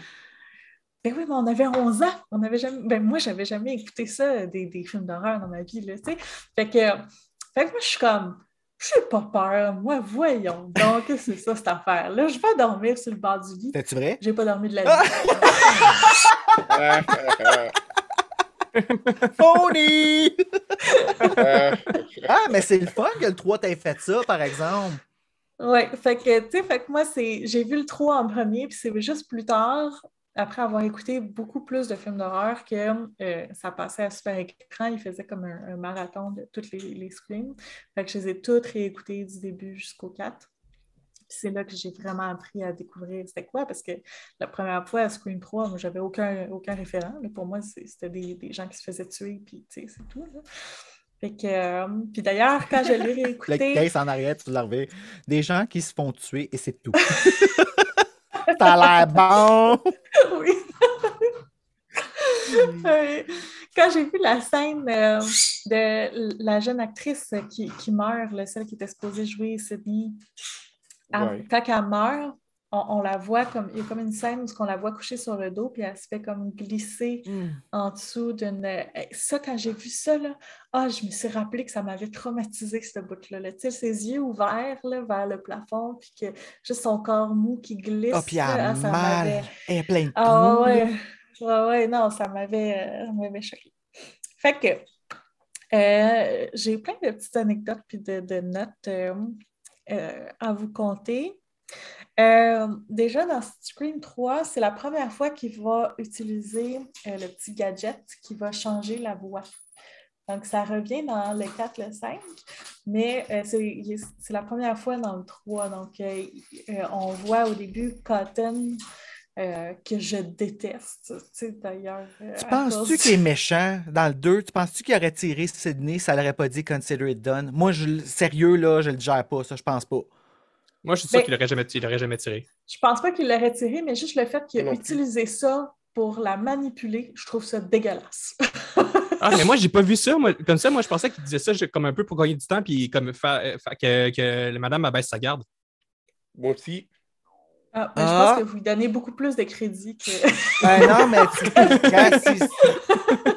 ça serait une bonne manière de le voir pour comme le, le mais avec le succès qu'il prend. en- Ah, je sais pas, man. Tout ce qu'il veut, c'est l'attention des médias, puis tout ça. Non, moi, j'ai. ah, mais je, le- je le file quand même comme au fond de lui, il veut pas faire de mal. En tout cas. Ben, Ouais, il qu'en- avec une femme mariée. Regardez dans le 3. Regardez dans le début du 3, tu sais. Euh, je suis d'accord avec toi. Moi aussi, j'ai vu ça comme il voulait gagner du temps, mais en même temps, tu sais, le 3 commence qu'il pense qu'une une poulette l'appelle, puis C'est ça. c'est- ça ne prend pas grand-chose pour dire euh, bye bye la blonde, euh, Ouais, aller voir la nouvelle. Tu sais, je suis cotonne, exactement. Ouais. célèbre. Hey, son Ah ouais. émission s'appelle A hun- a A 100% 100% Cotton. Cotton. How Ouais. fucking tacky is that? Puis il y a du monde qui écoute ça. ben, il y a du monde qui écoute. euh, comment il s'appelle? euh, Jersey Shore. Ah. je les ai tous Ouais, écoutés. non. Non, euh, moi, je pense au Québécois, là, avec son talk show là, à, mi- à 11h à TVA, genre, euh, comment ça s'appelle? c'est- Voyons, celui qui a reçu la madame que son chien s'est fait euh, Ah, Denis Lévesque. agresser. Oui, Denis Lévesque! Ouais, c'est vrai. Ton chien s'est fait menacer. Non, non, son chien s'est fait agresser par son voisin. Ouais. OK, on va faire une parenthèse, tout le monde. Vous pouvez, si vous pouvez stopper l'épisode, faire une pause et, et- et écrivez sur YouTube Denis Lévesque Shih Tzu. Et euh, préparez-vous à vivre euh, les 10 minutes Vivre les quelque chose. bizarres de votre vie.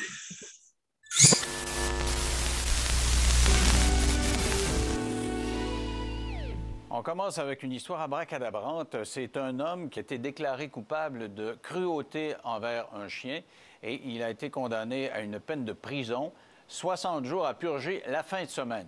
Et ce qui a été démontré, c'est que l'homme a littéralement violé, vraiment violé le petit chien. Après la mort de Cotton, euh, a fait une apparition.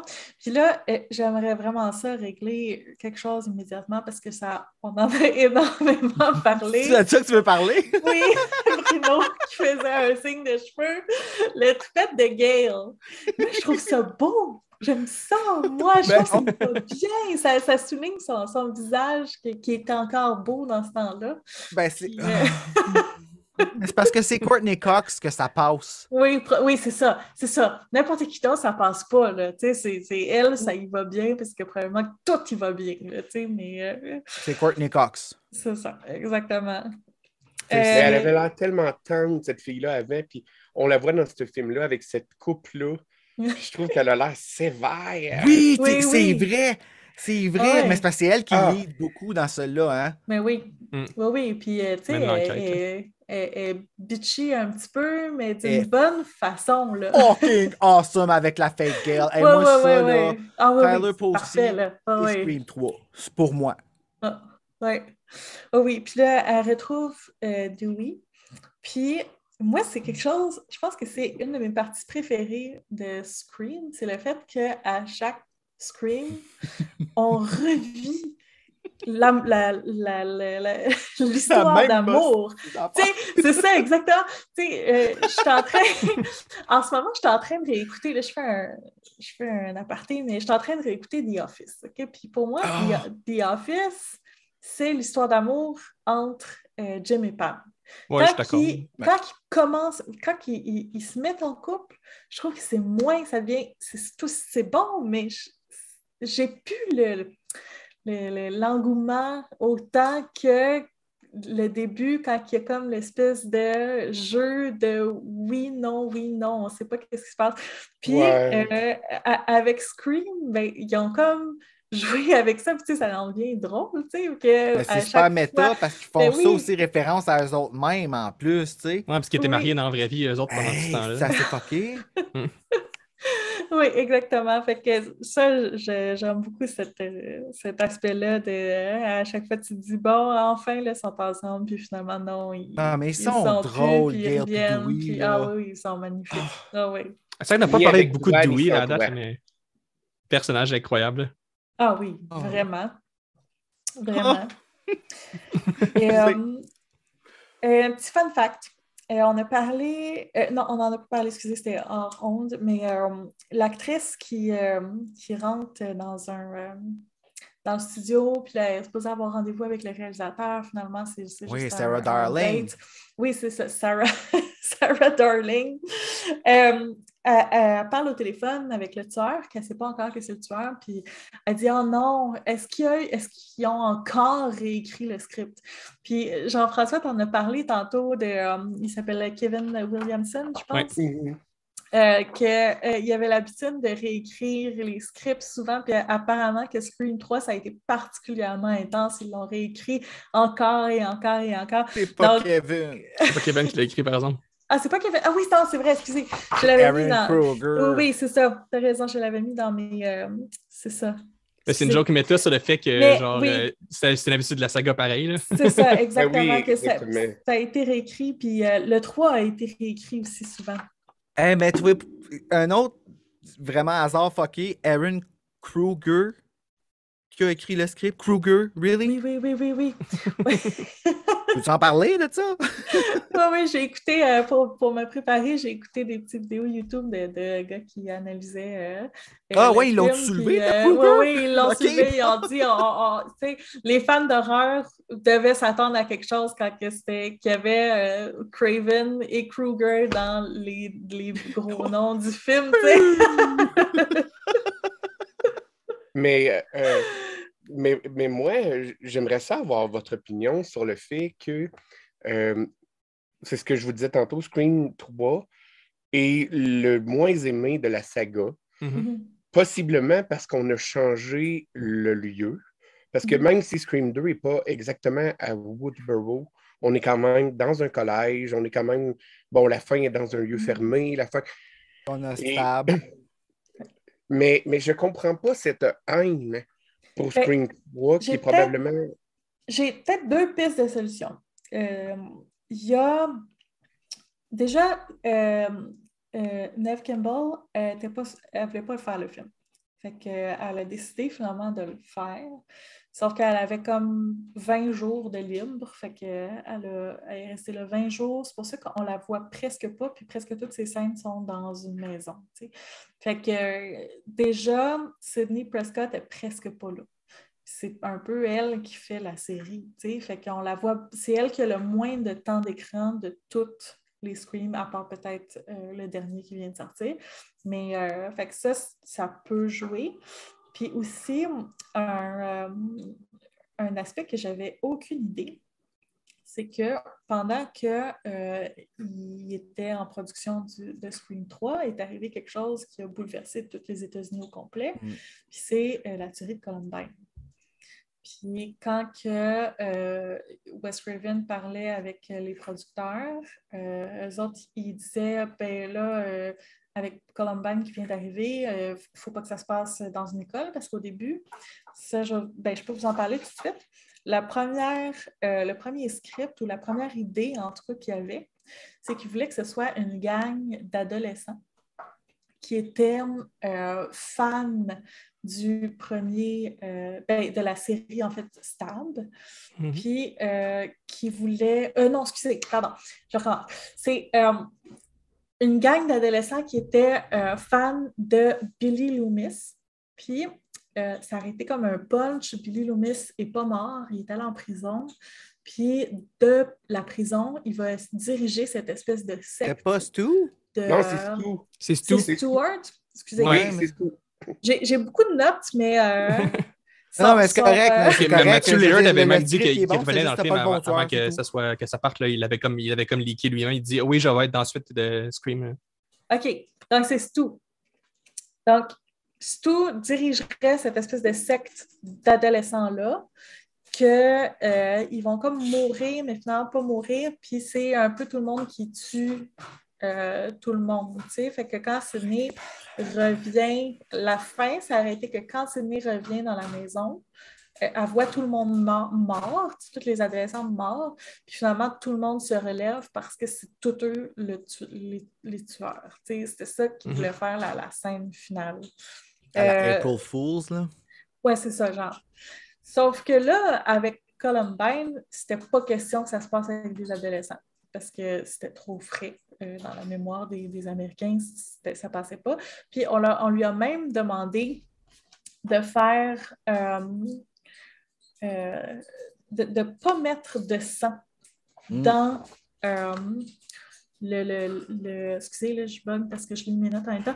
De ne pas mettre de sang. Puis dans le film du tout. Donc, un film d'horreur, pas de sang. Voyons donc. Puis Wes Craven avait répondu Be serious, guys. Either we make a Scream movie or we call it something else. Donc, soyez sérieux. Soit qu'on fait un Scream ou on appelle ça d'une autre façon. Donc, Il aurait dû attendre. c'est- là, ça, c'est discutable. Qu'est-ce que, est-ce qu'il aurait dû attendre? Il aurait- bon. Euh, Mais c'est à cause des Weinstein. Les Weinstein voulaient tout de suite parce que c'était dans le pic. Puis là, déjà que ça avait été repoussé d'un an, c'est là que les Mhm. Weinstein, ils sont venus fucker up, là. Comme, C'est c'est ça qui est poche. Puis parlant de Weinstein, Ben, ben, ben, euh, ben, une ben. affaire. euh, Hein? euh, Ben, je dis, ben, voyons donc. Euh, ils ont- parce que euh, je vais vraiment vous surprendre, mais je trouve Scream 3 exceptionnel. Ah, il Et- était cœur, hein? Je Moi, pense je qu'au niveau cinématographique, c'est peut-être le plus réussi. Euh, Mm-hmm. je pense que c'est celui où le côté méta est le plus intelligent puis poussé. Oui. Mhm. Puis je crois que c'est le premier Scream qui se qui s'adresse à des adultes. Oui, c'est vrai. Oh, ouais, ça, t'as raison, c'est- le fun que tu dis ça parce que c'est exactement le point que je voulais dire. Moi, je pense qu'une des raisons pour laquelle il a moins marché, c'est ce côté-là, c'est qu'on ne suit plus les ados. Là. Même, euh, ça. Peux-tu, même euh, euh, Sidney Prescott est apporter rendu quelque plus chose adulte. sur le là. 3? Oh, excuse-moi, Raph, excuse-moi. OK, non, mais euh, moi, de mon point, c'était juste ça. C'était un peu genre, euh, pour la première fois, justement, on n'est plus dans le côté un peu team drama là, à la Dawson là, pour, pour création Oui, de, Kevin Williamson, mais genre, tu sais, il y a justement, il y a ce côté-là, puis il y a aussi le côté que, justement, qui est très, très méta. Là. Moi, je, je, moi, je trouvais ça brillant, justement. Je, je suis assez d'accord avec Jean-François qu'il est vraiment réussi, parce que moi, je trouvais que c'était la suite logique d'aller à Hollywood, là, justement, là, avec tout ce qui Oui. s'était passé. Puis si on Mhm. voulait continuer le propos euh, sur, euh, sur euh, les codes, puis tout ça, puis sur le, le cinéma d'horreur, qu'est-ce que ça fait sur euh, le, le public, puis tout ça, je crois que c'était la suite logique de se rendre là. Puis je pense que ces deux éléments-là, justement, le côté qu'on s'est rendu plus adulte, puis le côté qu'on a plus à appuyer la joke, je pense que c'est une des raisons pour laquelle il a moins marché, parce qu'on s'entend on s'entend que le public des deux premiers Scream qui a été le voir en salle, c'est des ados. Celui-là Ouais. s'intéressait peut-être un peu moins à cette tranche d'âge-là. tu sais. C'est vrai. Euh, mais tu sais, je ne dis pas que c'est un mauvais film. Moi, je, l'ai super bien aimé aussi. Là, je l'ai adoré. Euh, une autre affaire aussi que je voulais dire, euh, c'est. Tu sais, je pense. Je ne sais pas euh, à quel point qu'on était sensibilisé à ça dans ce temps-là, parce que moi, quand je l'ai vu, j'étais très jeune. Puis même après, quand je l'ai revu, j'avais j'avais pas vraiment vu cet aspect-là. Mais avec les derniers, les événements des dernières années, peut-être que c'est plus frais dans la mémoire collective, mais quand il parle de la mère de Sydney, puis qu'il dit que euh, il dit Nothing happened to her that she didn't invite in one way or another. Mm. En faisant référence, c'est pas dit clairement, mais en faisant référence à des faveurs sexuelles. Donc, il n'y a rien qui lui est arrivé qu'elle n'a pas attiré d'une façon ou d'une autre. Oui. Donc, c'est quoi d'une façon ou d'une autre? Tu sais, ça, c'est très culture du viol. Là, tu sais. Ah, c'est mais c'était- que- c'est ça qui c'est clair. Oui, oui, oui, c'est ça. T'appor- T'apportes ça, puis c'est une discussion qu'on a eue justement parce que Scream, je l'avais fait sur. euh, J'ai couvert les quatre avec euh, Premier Visionnement, avec Mathieu de Premier Visionnement. Mhm. On, a, on en a discuté beaucoup, puis en le réécoutant, Scream aujourd'hui, le Scream 3, j'ai quasiment l'impression que c'est Wes Craven qui essayait de dénoncer quelque chose. Ouais. Puis que dans ce temps-là, on le voyait pas encore. Puis là, on le regarde, on est comme wow! Mais oui, c'est clairement ça. Puis le fait que ça a été produit par Harvey Weinstein, C'est ça. Euh, c'est- Ben, l'histoire qui se passe dedans, c'est exactement ça. Il- il Ouais, mais les- c'est pour ça qu'on lui donne un contexte, on dirait, d'antan. Parce que avez-vous remarqué que euh, on, on prend vraiment la peine de nous dire que c'est des réunions euh, qui se passaient il y a longtemps, Mhm. euh, Mhm. puis qu'on est dans un quasiment pour nous dire que ça se passe plus aujourd'hui, tu sais, que c'est de l'histoire ancienne. Mhm. Mais ça a commencé dans le temps de The Burning. Il faisait déjà ça dans le temps de The Burning.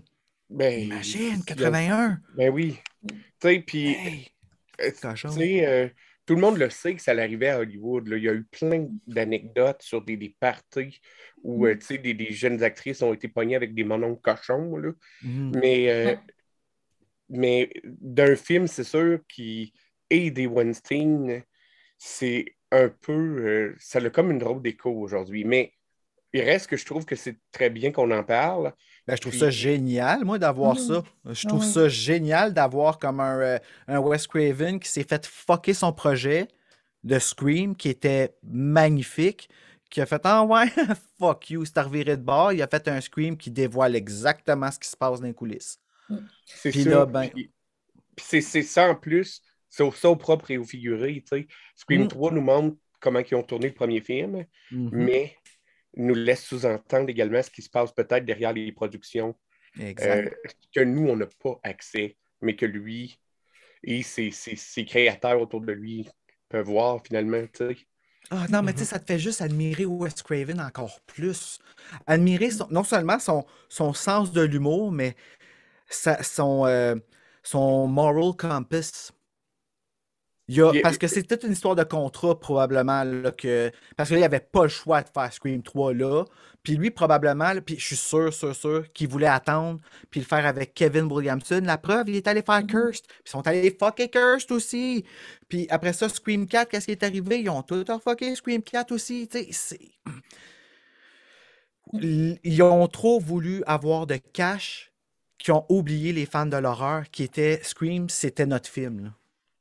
Whoop là, wow, j'ai de la frustration qui ont continué. Mais, mais en même temps, euh, en même temps, euh, ben, moi, je trouve que c'est un mal pour un bien, euh, dans le sens où peut-être que tous les problèmes qu'ils ont eus, euh, je ne veux pas dire un bien en parlant de la tuerie de Columbine ou rien de ça, mais au niveau artistique, j'ai l'impression que tous les, les Les problèmes qu'ils ont eu a fait que Mm. c'est le volet le plus créatif de la série.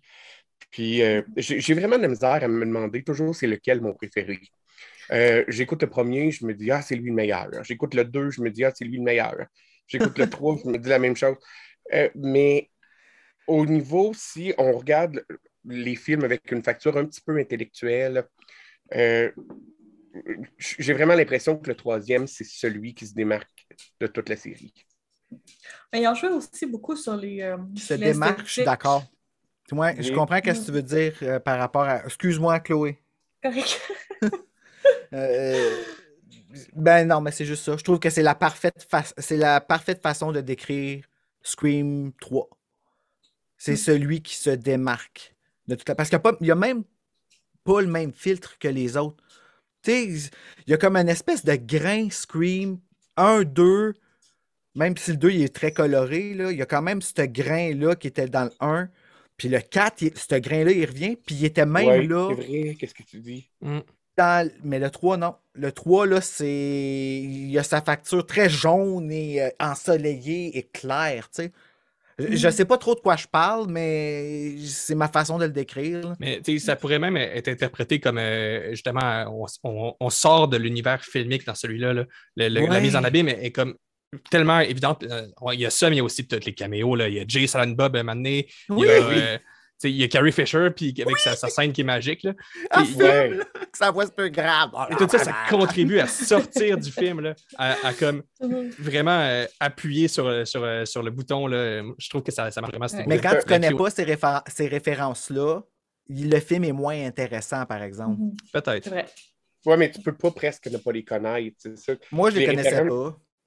Ben, mais il me semble sont tout. à gros traits. Carrie Fisher, euh, Star Wars, j'ai aucune idée c'est qui. Moi, quand j'ai regardé, j'ai vu, j'ai vu Carol Burnett. Qui ça? Puis j'étais convaincu que c'était. Tu sais, j'avais. Je, je comprenais pas. Mais, mais aussi, tu sais, c'est le seul film qu'il joue de façon euh, admirablement, en tout cas, de façon admirable avec la notion du double. Chaque personnage a son Ah double. oui, Oui. ah, ça, Et, et on vous souvenez-vous d'une une très belle scène à la fin, on dirait qu'il comme un. J'ai l'impression que c'est comme si ça atteint un paroxysme dans une scène à la fin où il y a comme une espèce de poursuite en arrière de murs miroirs Oui, Euh, oui, oui, oui. avec Mhm. le, le personnage de Parker posé que personne voulait qu'il se fasse tuer parce qu'on l'aimait tout autant quasiment que la vraie Gale. On aurait voulu les voir Quand les deux. cogne! Quand elle se cogne, sa clôture! Mais tu sais, c'est- c'est c'est vraiment. euh, c'est- en tout cas, c'est- un film sous-estimé, je trouve. Puis euh, Ouais. vraiment. Sa à mort ne fait pas de sens, par exemple, à Parker Posey. Pourquoi? Ben. Là, c'est qui qui a tué? C'est-tu Ghostface qui a tué ou c'est Dewey? Puis Ghostface, il s'est sauvé où? Il a disparu? Oui, ça aussi, j'ai remarqué. J'ai eu la même, la même remarque. Il, est passé par où, Ghostface? Parce qu'il y a un là, mur! oui, c'est ça. Il y a un mur d'un bord, puis tu as les miroirs qui se font briser un après l'autre de l'autre bord. Fait qu'il a fallu qu'il passe. Il aurait fallu voir comme. tu comprends? Ouais, mais- Vous mais- l'avez pas vu. Ghostface, c'est un personnage de film, là. On s'en fout par où il est passé. Il est passé, puis c'est tout. C'est juste ça qui est Moi, je suis d'accord. Moi, je suis rendu là. Oui, non, je suis d'accord, mais, mais c'est pas c'est une incohérence qu'on n'est pas habitué dans les screens parce que soit qu'elle est très Voilà. pointée du doigt quand il y a des incohérences, c'est soit que c'est Mhm. c'est évident que c'est voulu, puis qu'il en rit, ou qu'il n'y en a pas, tout simplement. tu sais. Puis là, quand j'ai vu ça arriver, j'ai fait Ah, c'est c'est spécial. Ben, moi, tu sais, ça me paraissait plus évident gros qu'il avait passé par la cave, tu vois. Moi, il faudrait peut-être que. Là, vous m'apportez euh, une idée que je n'avais pas vue. Moi, c'est- Ben, moi, je n'avais pas pensé à la cave, là. ben, parce que dans la scène avant, c'est pas dans la scène avant où il lance le fameux couteau à, à Dewey. Oui, mais girl, elle prend le pouls de Roman, puis elle dit qu'il est very dead. Oh, very! puis, tu sais, Ouais, mais là, mais là, aussi était caché. Ouais. était caché où est-ce que Roman il était mort. Fait que Roman, là, il a pas respiré longtemps là, avant que Girl arrive. Là. ah, mais il est bon pour tenir son souffle. Il fait de l'apnée. Il arrive à la fin. Hello. Mais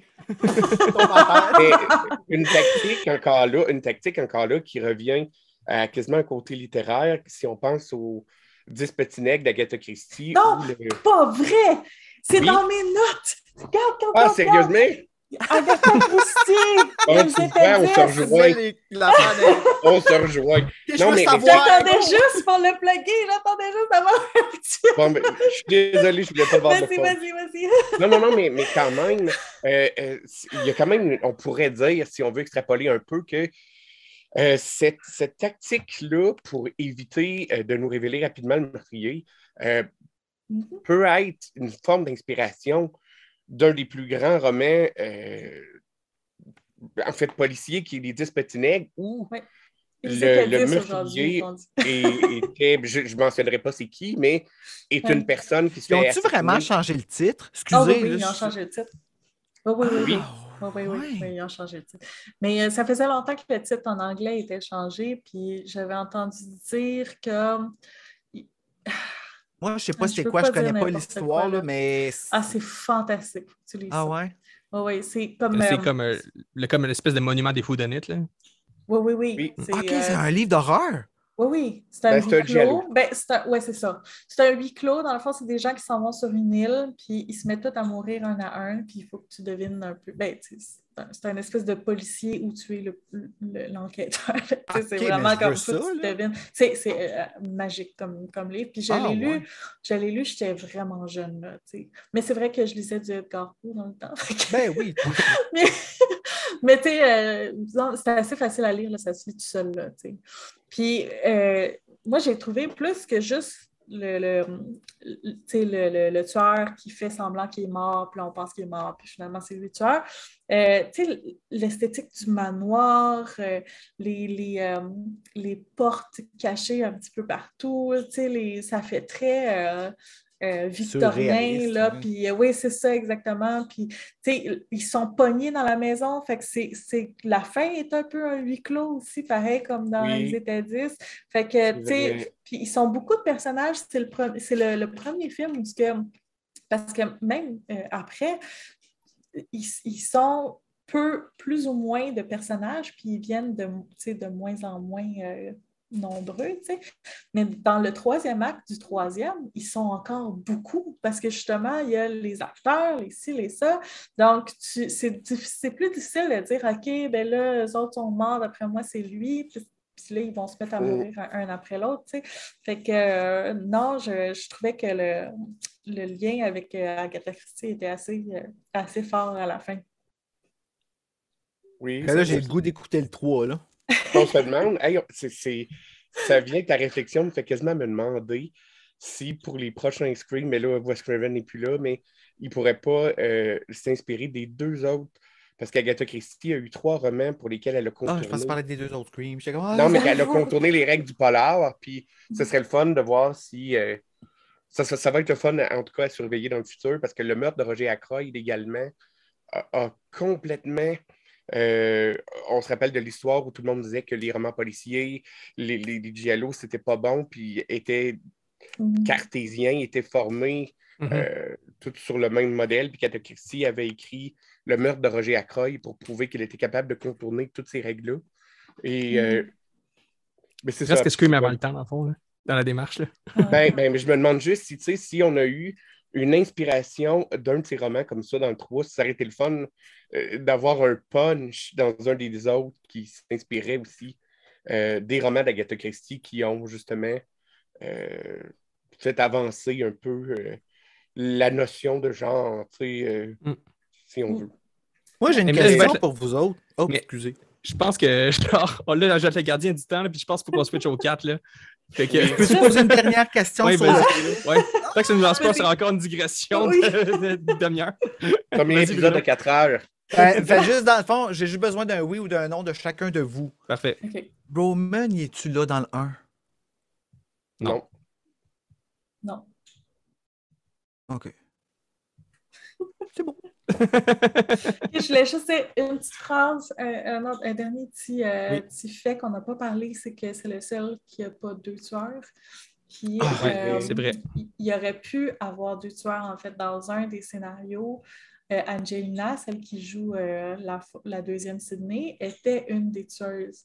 Ce qui fait, ce qui explique beaucoup son comportement dans le film parce qu'elle est vraiment louche, puis elle est trop louche, là. Tu sais, c'est comme, euh, à un moment donné, tu te dis, mais là... Oh my god! Oui, oui, mais- en toilette, tu sais, pourquoi tu te caches? c'est ça, exactement. Weird, C'est pas en tout, tu sais. Innocente. C'est ça. Fait que, euh, puis, fait que c'est ça. Puis euh, Wes Craven, ça a l'air qu'il a, il a filmé trois fins différentes, puis il n'a pas dit aux acteurs laquelle serait la bonne fin. Fait que euh, c'est mon oiseau, ça. euh. Ah! Ah, là, on dirait que ça venait comme de là, genre. Des fois, ça, des fois, ça sonne que les violons de Psycho, là, inquiète pas. Oui. ouais. Ah, c'est vrai! Ah, Fait J'aurais dû faire euh, ça. fait que c'est ça, c'est tout ce que je voulais dire. Super. Fait que, euh, on switch au 4. Ah, 4. Pas de, pas de, pas plus que de, de mise en contexte que ça. On s'en va au 4. Bruno, tu nous lances-tu? Le 4, ben, ils ont commencé à en parler en 2008. Puis on a attendu euh, avec. Il y avait sorti une espèce de poster de Ghostface en avant d'un garage écrit Scream 4 avec le 4 après. Puis c'est le seul poster qu'on a avec le non-refashion du 4 mis dans le titre. J'ai Mhm. ma théorie là-dessus. Le 4, c'est pas vraiment le 4, c'est Scream, mais c'est un remake. Fait à cause de ça, ils ont mis le 4 dans le titre pour que ça fasse vraiment Scream quand on le voit à l'œil. Mais on appelle ça Scream 4 pareil. Mais le film, c'est vraiment un remake. On a même.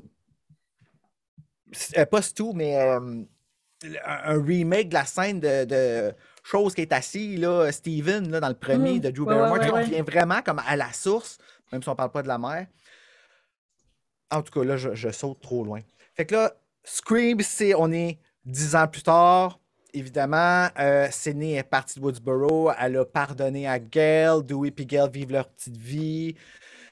On a une nouvelle génération qui arrive et un nouveau Ghostface qui arrive. Le début n'est pas ce qu'il aurait dû être, malheureusement. Qu'est-ce que vous pensez, vous autres, de l'opening de Scream 4? Je l'adore. Ouais, moi aussi. Je trouve que ça marche vraiment. vous aimez pas mieux l'alternate? Non. Bah, je, je, je sais pas, je suis pas sûr de savoir c'est quoi l'alternate. Fait que. Ah. L'alternate, les deux filles sont switchées au début. Les deux filles de- du vrai Scream, pas des stabs, là, que- Mhm. Qui à date stab 7 quand que Anna Paquin elle se fait planter le poignard, qui est le meilleur stab de toutes les Screams, là, je pense, là, à cause du cri fait, qui est tellement vrai. Oh! Je suis pas capable de le Ouais. faire, là, mais Asti qui est sincère, là, tout, là, elle l'a pas vu venir pendant tout. Euh, mais, euh, ouais, le 4, euh, c'est quoi je m'en allais dire, là? Excusez. Euh, c'est quoi la scène Euh, alternative oh, oui, euh, ouais, les deux sont inversés. Puis euh, c'est tellement devenu une joke. Puis c'est ça qui est, qui est beau. Quand on regarde le film Scream 4 avec toutes les scènes qui ont enlevé, remis dans le film, puis euh, honnêtement, c'est un film qui est magnifique, qui est encore plus référentiel à lui-même qu'il est en ce moment. Puis encore une fois, c'est les Weinstein qui ont fait coupe, coupe, coupe parce qu'on veut de l'action, de l'action. Les films d'horreur aujourd'hui, c'est du sang, puis nanana, parce que Scream 4, c'est le plus sanglant de toute la gang, mais il était 13 ans et plus en partant. On se rappelle que Scream 1 et Scream 2, 16 ans au Québec. Là. Ouais. Ici, là c'était rendu, on était rendu, de- on avait tout vu avec les sorts et ces affaires-là, puis il en parle dans le début, même que il en parle dans Stab 6, tu sais, tellement que c'est déjà dépassé. tu sais. Fait qu'on voulait du sang, puis là, ben, les Weinstein poussaient pour que ce soit plus fast-paced. Et Wes a dû couper dans ce qui nous parlait à nous autres, les fans, comme la, scène de la fontaine, euh, et ainsi de suite. En tout cas, au début, quand les deux ils se font avoir, c'est que c'est tellement devenu une joke, Scream, puis c'est là-dessus que tout le Scream est basé, le Scream 4. c'est que c'est tellement devenu une joke que la fille, elle se fait, la, la blonde avec le toupette, euh, qui est Amy T. Gordon, elle se fait tuer en avant de Britney euh, Robertson, si je dis son nom, de, le, le nom de l'actrice. Puis elle, elle croit même pas que c'est ça qui arrive, puis il y a plein de sang, puis tout ça. Puis quand Ouais. il est rendu pour se sauver, elle finit par se faire pogner, puis juste avant de mourir, elle dit à Ghostface, You're not real. Et pourtant, c'est arrivé dans la ville où est-ce qu'elle se trouve. Fait a Mm. tout ce paradoxe-là qui est, même la réalité est devenue un satire. Mhm. OK. Puis c'était ça le génie de Scream 4. Moi, je me rappelle, je suis sorti de la salle là, et tout le monde avait détesté parce qu'on était rendu ailleurs d'un film d'horreur. Et Scream était resté Scream. Puis les gens voulaient que ce soit devenu. Mais Scream, on s'entend, le, le Ghostface de Scream 4, il est quelque chose, là. Il plante Oui. le couteau dans la main à Olivia, là. Il Oui, oui, est oui, super maladroit. Il- lui, il stab où ce qu'il veut stabber. C'est on fait un film et on arrive à la fin avec Jill, la cousine de Sydney, Mhm. qui veut être Sydney pour le motif le plus gratuit qu'il n'y a pas. I want fans. Elle veut même pas travailler pour la paresse. C'est la plus evil de toutes les Screams. T'as un hostie de folle. Mais c'est ça, mais ce côté-là, il y a aussi, euh, je pense que ça venait aussi tu sais, parler un peu de l'espèce de, de- de culte du végétarien américain où c'est que tu sais, on, est beau- on était rendu en 2011 justement dans une ère, c'est que la télé-réalité était passée par là. Il y a tout le côté être célèbre pour rien là, Les remakes, Ouais. Aussi. les Ouais. remakes que tout le monde blastait, puis que tout le monde était piste, puis OK, là, on, on- puis les found footage qui sont arrivés aussi après Scream, qu'eux autres, ils filmaient leurs films, puis tout ça. Puis là, tu as les anciens qui viennent, que là, c'est soudainement Dewey qui contrôle l'enquête et non pas Gail. Puis là, Mhm. Gail, elle s'en va rogue, que ça, ça continue encore. Mhm. On a X qui arrive dans la place avec ses Lemon Square, qui, on s'entend, là, X, là, est pas ben ben fine, là. Non, Elle moi, fait je chier, l'ai. là. Oui, Elle est drôle à je- écrire. Betty Ben, Crocker. Oui, c'est ça. Puis, euh, Crocker. Ah, J'aime ça quand elle l'appelle de même. genre, I love bitch Gail. mais une affaire que j'ai que j'ai été déçue justement de Scream 4, c'est ça. C'est que au début, il y a vraiment comme tu vois qu'elle essaie de séduire Dewey, puis Dewey, il a pas l'air d'haïr ça tant que Ben ça. non, tu il pas il- ça. Je pensais que c'était lui le père de, de Wes. Euh, ah, OK. Je pensais que c'était lui. J'étais sûr que c'était lui. On s'en pourrait, mais euh, oui, c'est vrai.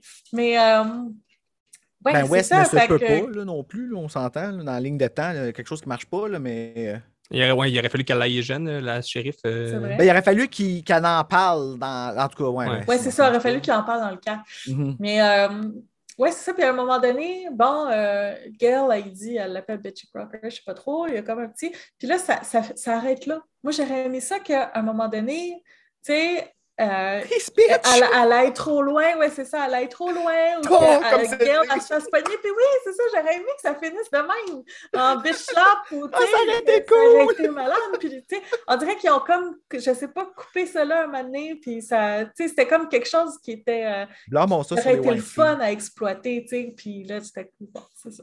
Il y a deux affaires, moi, que j'ai pas aimé du 4, là, dire franchement, c'est euh, le fuck Bruce Willis, ça m'a fait chier. Puis euh, le I'm gay, if it helps, ça m'a vraiment fait chier. Ouais. Parce que c'est pas vrai que le gay survit toujours les films d'horreur, le gay always dies. Puis Ouais. encore Oui, aujourd'hui, là, dans, ben là, Scream 5 a enfin réglé ça, là. Mais C'est c'est ce qu'il souligne, que là, exceptionnellement, on change les règles. Donc, euh, le- le- là, je devrais survivre parce que je, suis- je suis gay puis on est dans les nouvelles règles. Il le souligne gay que le survit fait jamais. Ah, mais c'est ça, mais Jamais survécu. mais c'est ça, ni- ça qu'il souligne aussi. Ah, Ça dit, moi, si vous voulez pas- changer les règles, si vous voulez changer les règles, ben normalement, je devrais pas mourir là.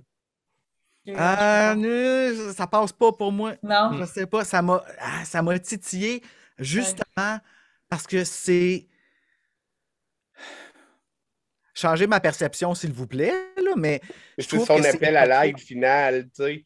Il croit tellement que le meurtrier veut changer les règles, tu sais, que il a eu un coup de couteau, il est en train de mourir. Fait que là, c'est ça qu'il dit.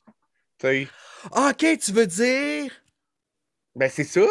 Ben, moi, c'est ma perception. Ben, moi aussi, au- je l'avais vu comme ça. mais il veut changer les règles, ça sort d'où ça dans le 4 qu'il veut changer les règles le meurtrier? Ben, on le dit depuis le début. C'est le remake, oui, c'est ça. il- il- c'est les nouvelles règles. C'est une façon les de. de nouvelles règles, mais les nouvelles règles, sont- ils- ils se basent sur quel film pour ces règles-là? Parce que moi, tous les films que j'ai regardés avec un gay dedans d'horreur, le gay crève. C'est très rare qu'il survit, à moins que ce soit un gay-based movie, un gay-themed movie. Mhm. Ouais, mais c'est- de, ça qu'on se moque aussi, du fait que c'est ridicule, que dans les autres films, on les tue pour rien. Tu sais, je veux dire, mais on le sait, là, si, si t'es si t'es gay, si t'es gros, si t'es noir, si t'es si t'es moindrement membre d'une minorité dans un slasher, t'es la première Mhm. victime. Tu sais, mais mais c'est- c'est c'est comme une façon de se moquer du est-tu fait gay? que... Euh, pardon? Il est-tu gay en bout de ligne? Ben oui, c'est clair. C'est clair. Ben, vous- sérieux, moi, je pensais qu'il disait ça pour justement, comme pour pas mourir. Fait que c'est- Puis j'étais comme, ben, c'était ta tape, parce que si t'es gay, tu meurs. Mais.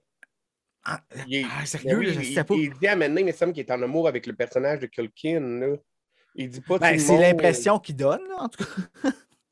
Mais je sais pas Ben si oui, il l'appelle, je me rappelle pas son nom, là, mais il dit ah, ça, c'est mon. Euh, tu sais, puis euh, il, il dit son nom, là, tu sais, il y a, il y a- il y a- oui, il y a, il y a comme un. Il y a un bonheur pour Culkin. Ouais, Ouais. Ben, je vais le réécouter. euh, Écoute, je vais le réécouter pour essayer de, de- de capter ça. là. parce que moi, à date, les seuls gays que j'ai vus, c'est Stu et Billy. là, mais... mais en fait, Stu et Billy qui manipulent, là, mais ça, c'est mon. euh, C'est ma théorie. Que Neve Campbell elle-même approuve, je dirais. Ben, Ouais, euh, mais ça, ça change pas grand-chose en bout de ligne. Ben non, ça change rien, mais ça, Mhm. ça- ça change quelque chose pour nous. Mhm. Ben pourquoi? Ben parce que Billy est à nous autres. On veut avoir notre chance de coucher avec Billy, nous autres aussi. Ouais, mais tu trouves pas que ça, ce serait plus. Ma question, puis elle se, se rapporte à ce que tu viens de dire euh, pour le personnage du gars qui dit qu'il est gay. Tu trouves pas que ce serait plus homophobe de nous dire que les deux personnages meurtriers complètement cinglés du premier étaient en bout de ligne deux homos qui ne s'assument pas? Que Oh, le- wow, wow, non, non, non, non, non, non, non, pas du tout, du tout. C'est pas deux homos qui ne s'assument pas. Moi, ma théorie par rapport à euh, Billy et Stu, c'est que Stu est gay et que Billy est sociopathe. Moi, ce que je Mm. pense, c'est que Billy a manipulé Stu Parce que euh, lui, là, il s'en fout. Hein? Il s'en fout qu'on pense qu'il soit gay. C'est- pas important pour lui. Fait de jouer le gay ne lui dérange pas. Fait qu'il va aller même jusqu'à commettre l'acte. Là, je dis commettre comme si c'était un gros affaire, un gros péché. Mais aller faire les feux leu avec le garçon, ça ne dérangera même pas. Pour lui, ça ne sera pas gay, ça ne sera pas hétéro, ça ne sera pas rien. C'est de la manipulation pour avoir ce qu'il veut parce qu'il sait que lui, il veut. Puis je pense que c'est comme ça qu'il y a eu tout. Tu le Ouais, vois ce à la fin. c'est encore la- pire. Ce que tu Hein? dis, c'est encore pire. Finalement, c'est encore pire parce que pense-y deux secondes. Euh, Ben, le c'est méchant. le personnage de Scream qui est gay est, est montré comme un meurtrier parce qu'il suit l'autre dans sa démarche, mais serait montré également comme un faible. Parce que là, on parle de quelqu'un qui réussit à se faire monter un sapin assez pour aller tuer sa- sa- Ah, mais, euh. Je vois pas ça comme une faiblesse, moi, de se faire manipuler par un sociopathe parce qu'ils sont smart en sacrifice, puis ils sont vraiment capables de te mettre où tu veux, où ce qu'ils veulent t'avoir. Puis il- il- il- c'est l'amour qui est, qui, est- qui est ici la clé dans tout ça. J'ai- Bill, euh, euh, Stu, il est prêt à n'importe quoi pour Billy. Puis tu le vois à la fin, là, quand il apprend le, le, le, le motif que Billy a, que lui ne savait clairement pas dans le premier, là, quand il apprend que, hey, OK, Ouais. je ne savais pas ça, là, il déroge pas du plan, tout. Il se sent même pas trahi parce que Billy, c'est la voix de Dieu pour lui. Puis Ah, il vient le coller, il est intime avec lui, puis c'est. Ils l'ont même niaisé dans Scary Movie. J'ai fait, OK, ils n'ont pas parodié ça pour rien. C'était trop obvious, tu sais. C'est Ah, juste qu'on n'était pas rendu dans le temps où est-ce qu'on avait le droit nécessairement d'être gay comme ça, tu sais. Moi, c'est tout, que- je le voyais vraiment comme plus comme genre une espèce de.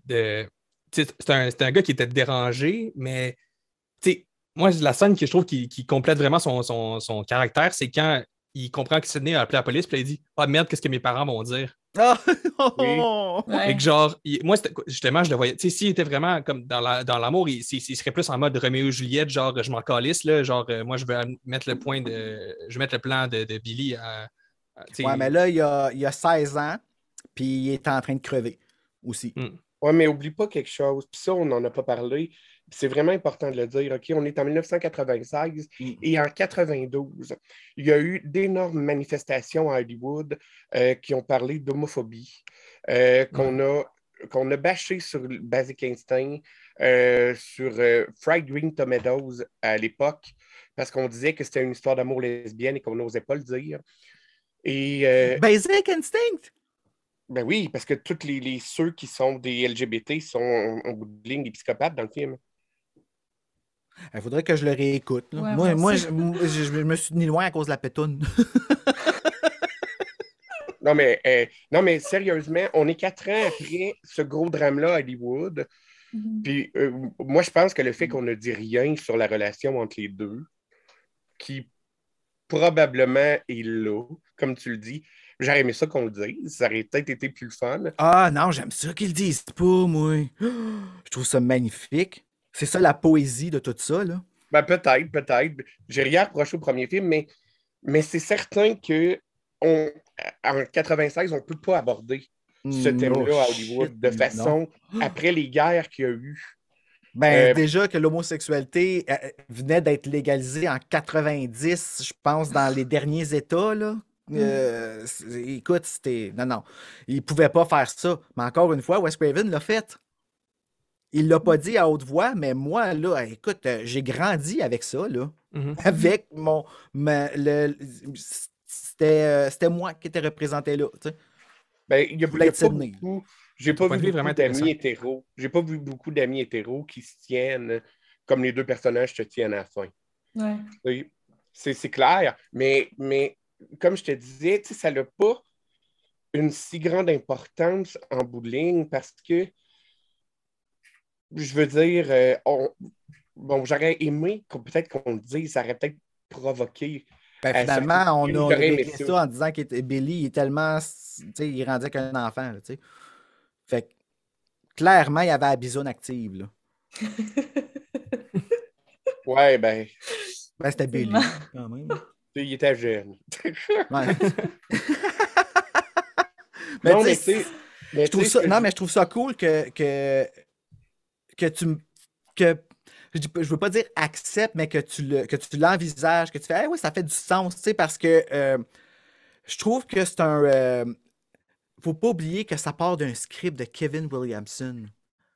Puis Mhm. Kevin Williamson, il est homosexuel. tu sais, Ouais. fait que- puis lui, il avait un message à passer là-dedans qu'il n'a jamais vraiment utilisé, mais tu sais, il ne nous a pas oublié là-dedans. Puis il a milité pour notre cause. J'aimerais ça qu'on le souligne à quelque part, parce que je trouve ça, pour nous autres en tout cas, là, je, trouve, je trouve que c'est un, euh, c'était le fun de se faire amener dans les films d'horreur comme ça. Ouais, ben, puis c'est un personnage, c'est un personnage cool. Comme tu dis, moi, je, je suis juste pas sûr que l'aspect que le personnage qui a amené est un, est un psychopathe et qui, bon, est toujours quelque chose qui peut euh, Ah, avoir. mais ça, c'est mon histoire que je me suis faite. Hein? L'affaire de Billy, qui est un psychopathe, c'est pas quelque chose. euh, ben, pas, qui est un sociopathe puis qui a manipulé puis tout ça. Là. Ça, c'est mes fantaisies à moi. là. mais si, mettons, je leur ferais un, un, un fanfiction puis je ferais un prequel de. comme- Puis, écoute, ça fait des années, je dis je vais faire ça puis je l'ai jamais fait. Là. Mais ça serait quelque chose que je voudrais explorer. Comment Billy a manipulé Stu pour tuer Maureen, euh, attendre un an, revenir, puis là, ben, tu sais, s'amouracher de Drew Barrymore, puis tu sais, là, moi, je voyais, genre, Stu qui il va passer la soirée avec Casey, puis là, il revient rejoindre euh, Ski, puis Ski, pour le récompenser, il donne son sugar le soir, puis il dit, tu sais, comme... ben, Ouais, mais ben, ça va ta encore plus loin que ça parce que c'est Roman, le premier, qui a, qui a réussi à convaincre Billy.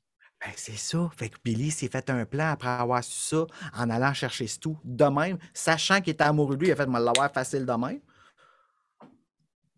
Peut-être. Et boum, magie. Parce que c'est vrai que tu, tu peux te poser la question de tu à quel point il savait que Stu était dérangé à la base. Comment tu arrives à quelqu'un puis que tu voir son ami que tu Hey, connais on- depuis des on années, tue euh. du monde?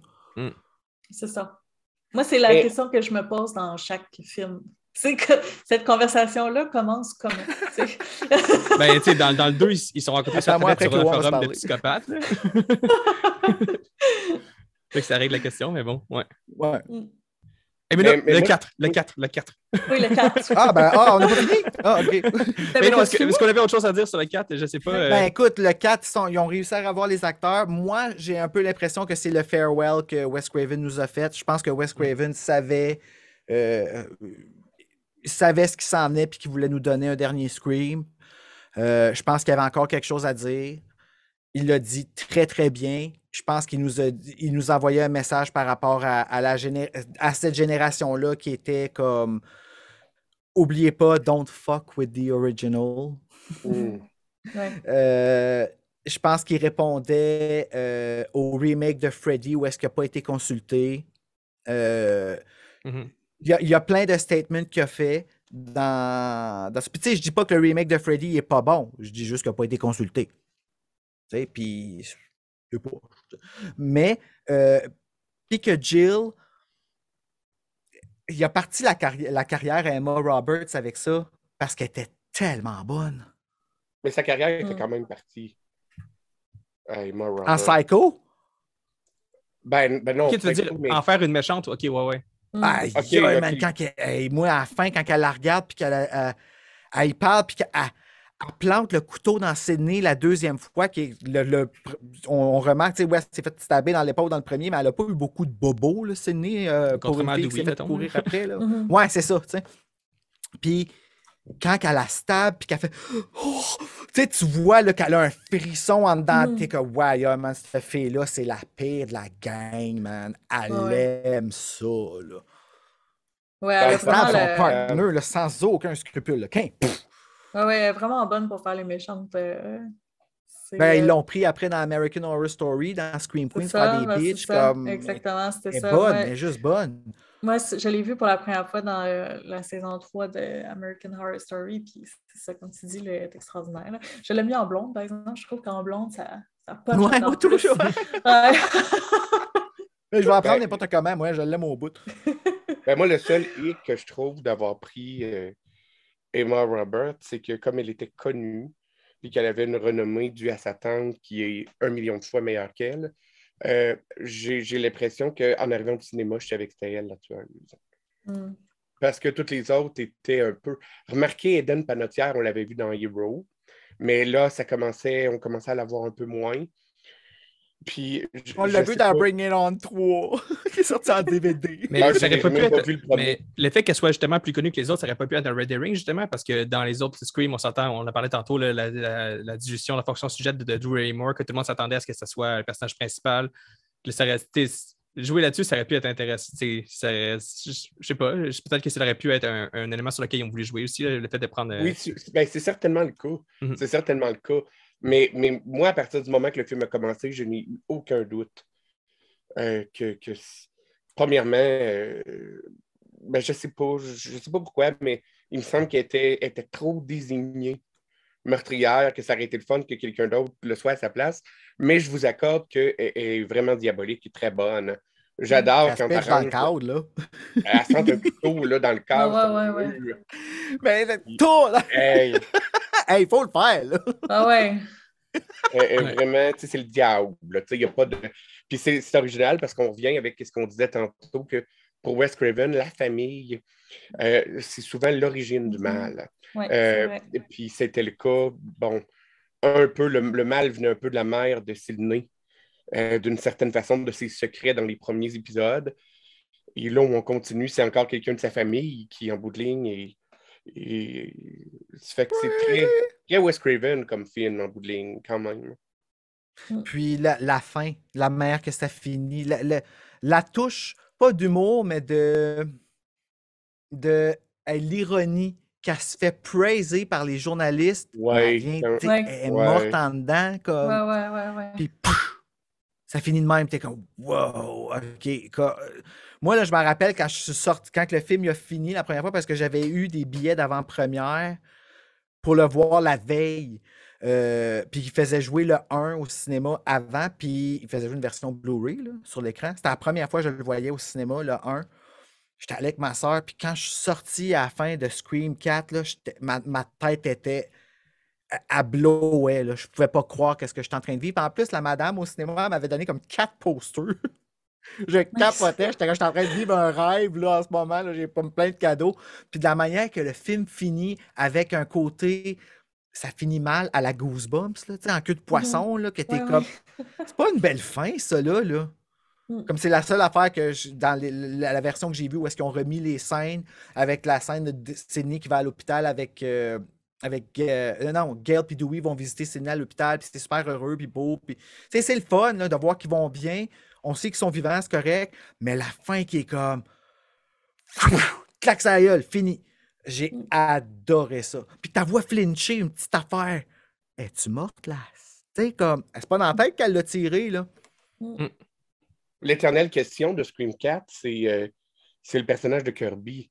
Tout le Elle est pas monde a morte! dit- Elle est pas morte! On le voit dans ce, dans ce scream-là, dans un, euh, dans un thumbnail. On voit euh, une affaire de Kirby, excuse. Oh my god! Tu l'as pas vu? Ben, moi, je la pense morte, personnellement. J'aimerais ça. Non, ils l'ont confirmé dans Scream 4. Attends une minute, aller chercher l'article. Hey, sérieusement, là, hey, je suis tellement content que tu en parles de tout ça, j'allais oublier d'en parler. Une chance que Parce- tu. Parce que Kirby, là, tout le monde l'aime. Ben oui, est adorable. Et moi, je crois qu'au-delà de d'avoir Robert, moi, je crois que le tour de force d'interprétation de Scream 4, c'est elle. Parce que Kirby contrairement à. Emma Robert, elle a un rôle. euh, Ben, elle a un rôle euh, qui aurait pu être une redite euh, de Randy. Et je la trouve drôle du début à la fin. Mais oui. Écoute, c'est- une, c'est une tueuse au volant, d'une certaine façon. On commence, on nous la présente comme. Mais c'est vrai, Mm. c'est vrai. Puis, euh, Comme trois fois. là. puis elle- elle- c'est une, elle est extrême. Quand elle commence à nommer toute la série de remake, Ah! moi, je Ouais, trouve que. oui, c'est- oui, oui, oui. Écoute, tu peux pas ne pas rire. C'est c'est pissant, là, ce passage. Allez, Ah, dis tout. ouais. Oui. Allez, Ouais. dis tout. Puis en français aussi, hein, au, au Québec, là, c'est donné, la fille. Tantôt, j'ai écouté, j'étais comme, oh boy! OK, comme, puis les titres sont plus longs en français. Fait que c'est pour Ben ça oui, que j'étais ben comme, OK, la fille est comme. Tu les entends tout dire, je suis comme, c'est sûr qu'ils ont coupé, là, mais en tout cas. Ben, Mm. peut-être pas, dans le fond. Mais oui, quand il dit ici, ça a été confirmé le 16 janvier 2022. Aiden Panettiere's acerbic Kirby was the breakout star of Scream 4 with her death in its third act one. La, la, la, la. En tout cas, c'est long. While Panettiere doesn't appear in the new Scream, Kirby's survival is confirmed via a YouTube video glimpsed in the film.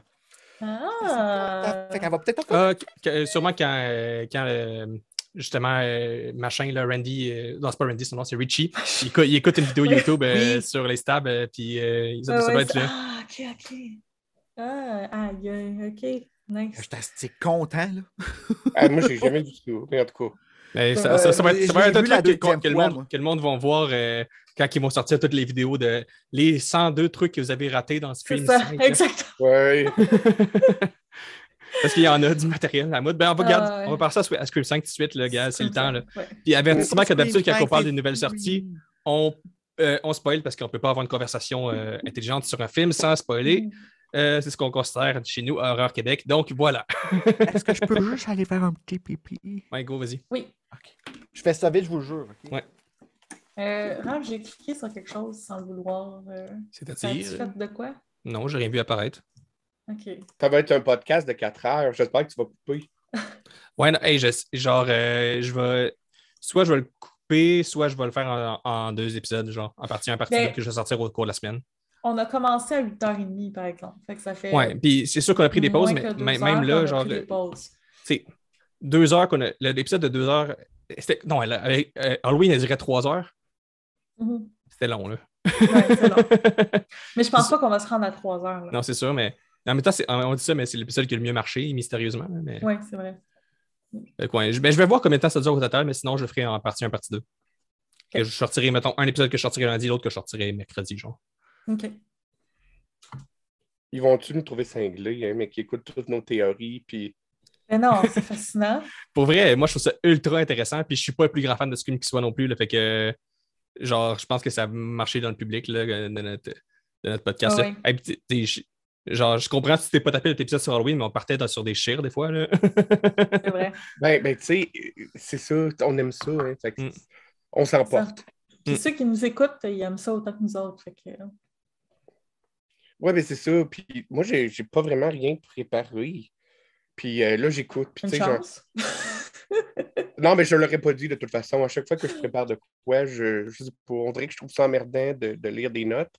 Puis, puis je me trompe à chaque fois. Fait que Ouais, j'y vais au hasard, mais tu sais, euh, c'est des films qu'on a vus et revus et revus. Mhm. Puis euh, Bruno a l'air aussi zélé que moi, fait que j'adore. euh, Oui. Ben, moi, je- je- en ce moment, là, mes joues sont rouges, rouges, rouges à cause de la presse. Je suis tellement comme énervé. Là, c'est- sais qu'elle va mourir dans le prochain Sydney, là. Prépare-toi, là. Je Ça va sûrement être l'opening en plus. Mm. Les deux ensemble, Gail, puis euh, d'un coup. Ouais. non, c'est. Kill the past. Non, Ça, moi, va- ça, faire, ça va je faire veux- la même chose que, la- que- En tout cas. Moi, je veux Ah, je qu'il l'appelle puis mais- qu'elle fasse comme OK, non, achale-moi plus, là. J'ai tout donné. Oh, OK. Parfait. Euh, que, Scream 5. Oui, 2022. oui. Donc, c'est un nouveau volet, le premier qui n'est pas réalisé par Wes Craven d'ailleurs, de paix à son âme, mais qu'on a tous apprécié le, le petit bout à la fin, euh, For Wes, euh, qui nous a tous mis la petite larme à l'œil, euh, j'en suis sûr. Ouais, Ouais. oui. Même durant le film, là, vu qu'il y a des personnes qui s'appellent Wes, puis qu'il y a monde qui font un, un train qui a, à son nom, là, Ouais. évidemment. Ah, Puis la grosse pancarte bleue, là, écrit For En West. arrière des deux filles. Tu sais, à la fin, Mhm. on la voit beaucoup. Euh, tu sais, Dans la scène avec euh, Neve Campbell puis euh, Courtney Cox, on voit le West Ouais. en arrière d'elle. C'est très. euh, Ah, écoute, je peux-tu. Je peux-tu? Oui. Ben, go. Go. Le 5, c'est tellement une belle lettre d'amour à Wes Craven que je suis encore pas capable de chier dessus. Excusez de dire ça, comme ça, de, de, bitcher contre, parce que je suis encore tellement touché par tout ce que j'ai vu. Puis je suis ému par la sensibilité à laquelle ils ont réussi 25 ans plus tard à rendre ça relevant encore Mm. Puis à Mm. repartir quelque chose de nouveau, puis à comme dénoncer l'horreur. Pas dénoncer, là, c'est le mauvais mot, le mauvais terme, là, mais le démystifier, puis euh, make it fun de nous, de nous apporter le film Scream, puis que ce soit correct que ce soit Scream et pas Scream 5. Ouais. Non, c'est pas correct. Non? Je, je- moi et tout, je, me- je m'inscrirai en faux. Mais Ah je, te, oui? je, te, je te lancerai peut-être en premier GF euh, là-dessus. Euh, pardon? tu veux, tu veux, tu veux, veux- veux-tu que je commence ou. euh, Ah, ben tu peux y aller. Ben, je suis Ok. sûr que ce qu'on pense, c'est exactement la même chose. Vas-y. On verra, mais moi, mon point, c'est que le, le concept de justement aller. de, de continuer le, le côté méta en parlant des requels, sur le papier, j'aime ça. Dans la réalisation, je pense qu'il y a quelque chose qui est un peu raté. Je pense que peut-être que c'est le fait de, trop vouloir se mettre euh, sous, euh, sous la protection de Wes Craven ou je ne sais pas quoi, là, de, de vraiment trop lui rendre hommage, que si on était pour repartir sur quelque chose, je pense que c'était. Scream, c'était une saga avec laquelle il fallait justement euh, ne pas trop appuyer sur le côté nostalgique de, de- de- des, premiers. Parce que là, comment je l'ai vu, la structure du film, là, honnêtement, la, la, la joke méta, je la vois pas tant que ça parce que pour moi, c'est exactement ce qu'ils ont fait avec Star Wars, mettons. Tu, si t'analyses- tu prends le temps de. Moi, c'est tout de suite ce que j'ai dit en, en partant, puis moi, je- c'est pas un secret au podcast, je l'ai dit une couple de fois, mais je suis pas un fan des nouveaux Star Wars, ben, ben. là. Je- mais mon point, c'était juste que il y a un côté vraiment. On refait popper les personnages d'avant pour en tuer un. Mhm. Il y a le- le- la nouvelle protagoniste, c'est la fille du grand méchant du premier. Euh, il y a le- tout le côté euh, qu'on veut, euh, veut repartir sur des nouvelles bases, mais qu'on reprend exactement les mêmes bases que, que le premier, quitte à reprendre exactement la même scène finale quasiment, euh, avec dans le même endroit. Y a vra- il y a vraiment un côté, je trouve que, honnêtement, si j'avais voulu faire un requel intéressant à Scream, là, genre au début, quand il commençait à parler des. des- quand justement le personnage euh, euh, qui se fait attaquer au début, elle, commence à parler qu'elle elle préfère ouais. les, les films à la The Witch, puis à la Babadook, puis tout ça, Mm. j'étais comme genre, ça serait le fun d'aller euh, chercher un peu ça. Genre, de Moi, je comme- pensais que c'est ça qu'il allait faire. ben, j'espérais que... que- ce soit ça un peu, genre, parce que l'horreur est rendue ailleurs en, en 2022. Puis c'est correct, genre, de- de- de- d'être nostalgique d'une certaine époque de l'horreur, mais je trouve que Scream, ça a tout le temps été tellement, genre, la saga qui vient retravailler ce qui se passe dans l'horreur actuellement, Mhm. que Ouais, mais on spécifiait, dans celui-là, il disait pas horror movie, il disait slasher. Mais C'est la première là- fois qu'on utilise ce mot-là, slasher, dans Scream. Mais même les slashers, c'est rendu quand même ailleurs. Fait que je sais pas si. Fait que, genre, Hmm. le, le côté, mettons, le fan de Scream euh, en moi, comme après ces films, parce que j'étais content de revoir Dewey, j'étais content de revoir euh, sais, Sydney puis, puis, puis, puis Gail, mais genre. Puis ils ont tous été respectés, ça, quand même, j'ai full apprécié ce côté-là, mais il y a un côté en moi qui me dit, genre, un peu comme euh, j'étais content de revoir Harrison Ford puis Mark Hamill euh, dans, dans Star Wars, mais c'est pas les films que je vais avoir envie de réécouter. Il y a un côté qui est comme un peu trop, selon moi, cynique, c'est peut-être un, mot fort, mais j'ai la misère à le voir autrement qu'il y a comme un côté un peu. On donne aux fans ce qu'ils veulent, puis on n'essaie pas d'amener tant que ça le propos plus loin. J'aurais aimé ça que ça aille un peu plus loin. Mais j'ai apprécié quand même, j'ai- aimé euh, mon expérience au cinéma. Puis peut-être que vu que j'étais pas non plus un fan euh, aussi, euh, aussi- j'étais pas aussi un fan de Screen que, vous pouvez l'être, j'aimerais peut-être un peu moins, j'ai peut-être été un peu plus agacé par ça. Peut-être que le côté, euh, ma vision a peut-être été moins, euh, peut-être que je m'attendais à trop, peut-être c'est ça, mais il y a un côté pour moi que ça aurait tellement dû faire un peu plus pour, euh, pour que je. que mais encore une fois, comme je dis, moi, le côté méta, c'est ce que je trouve le, plus trippant, puis c'est de partir dans des analyses de mise en abîme, tout ça, moi, qui, me fait tripper dans Scream. Mais justement, j'ai été, je suis resté un peu sur ma faim à cause de ça. Ouais, Kevin Williamson l'avait dit ça au début du tournage. Oubliez le méta. Ça n'a pas rapport dans celui-là. Qui, moi, pourtant, je trouve qu'il était présent, c'est fucké, hein?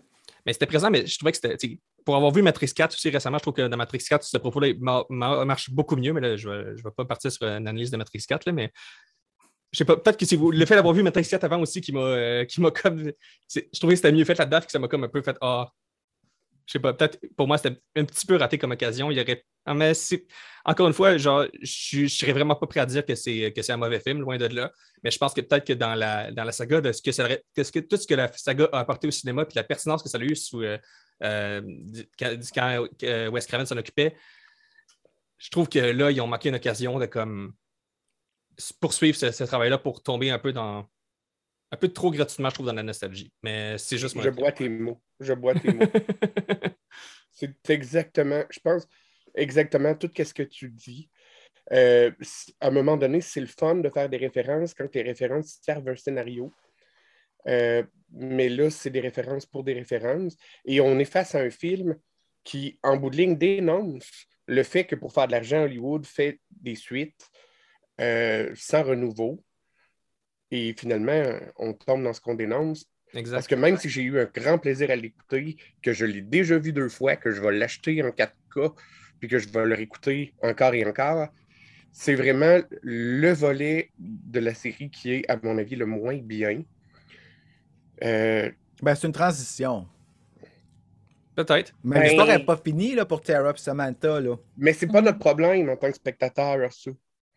Nous autres, on Ouais. arrive, on va au cinéma.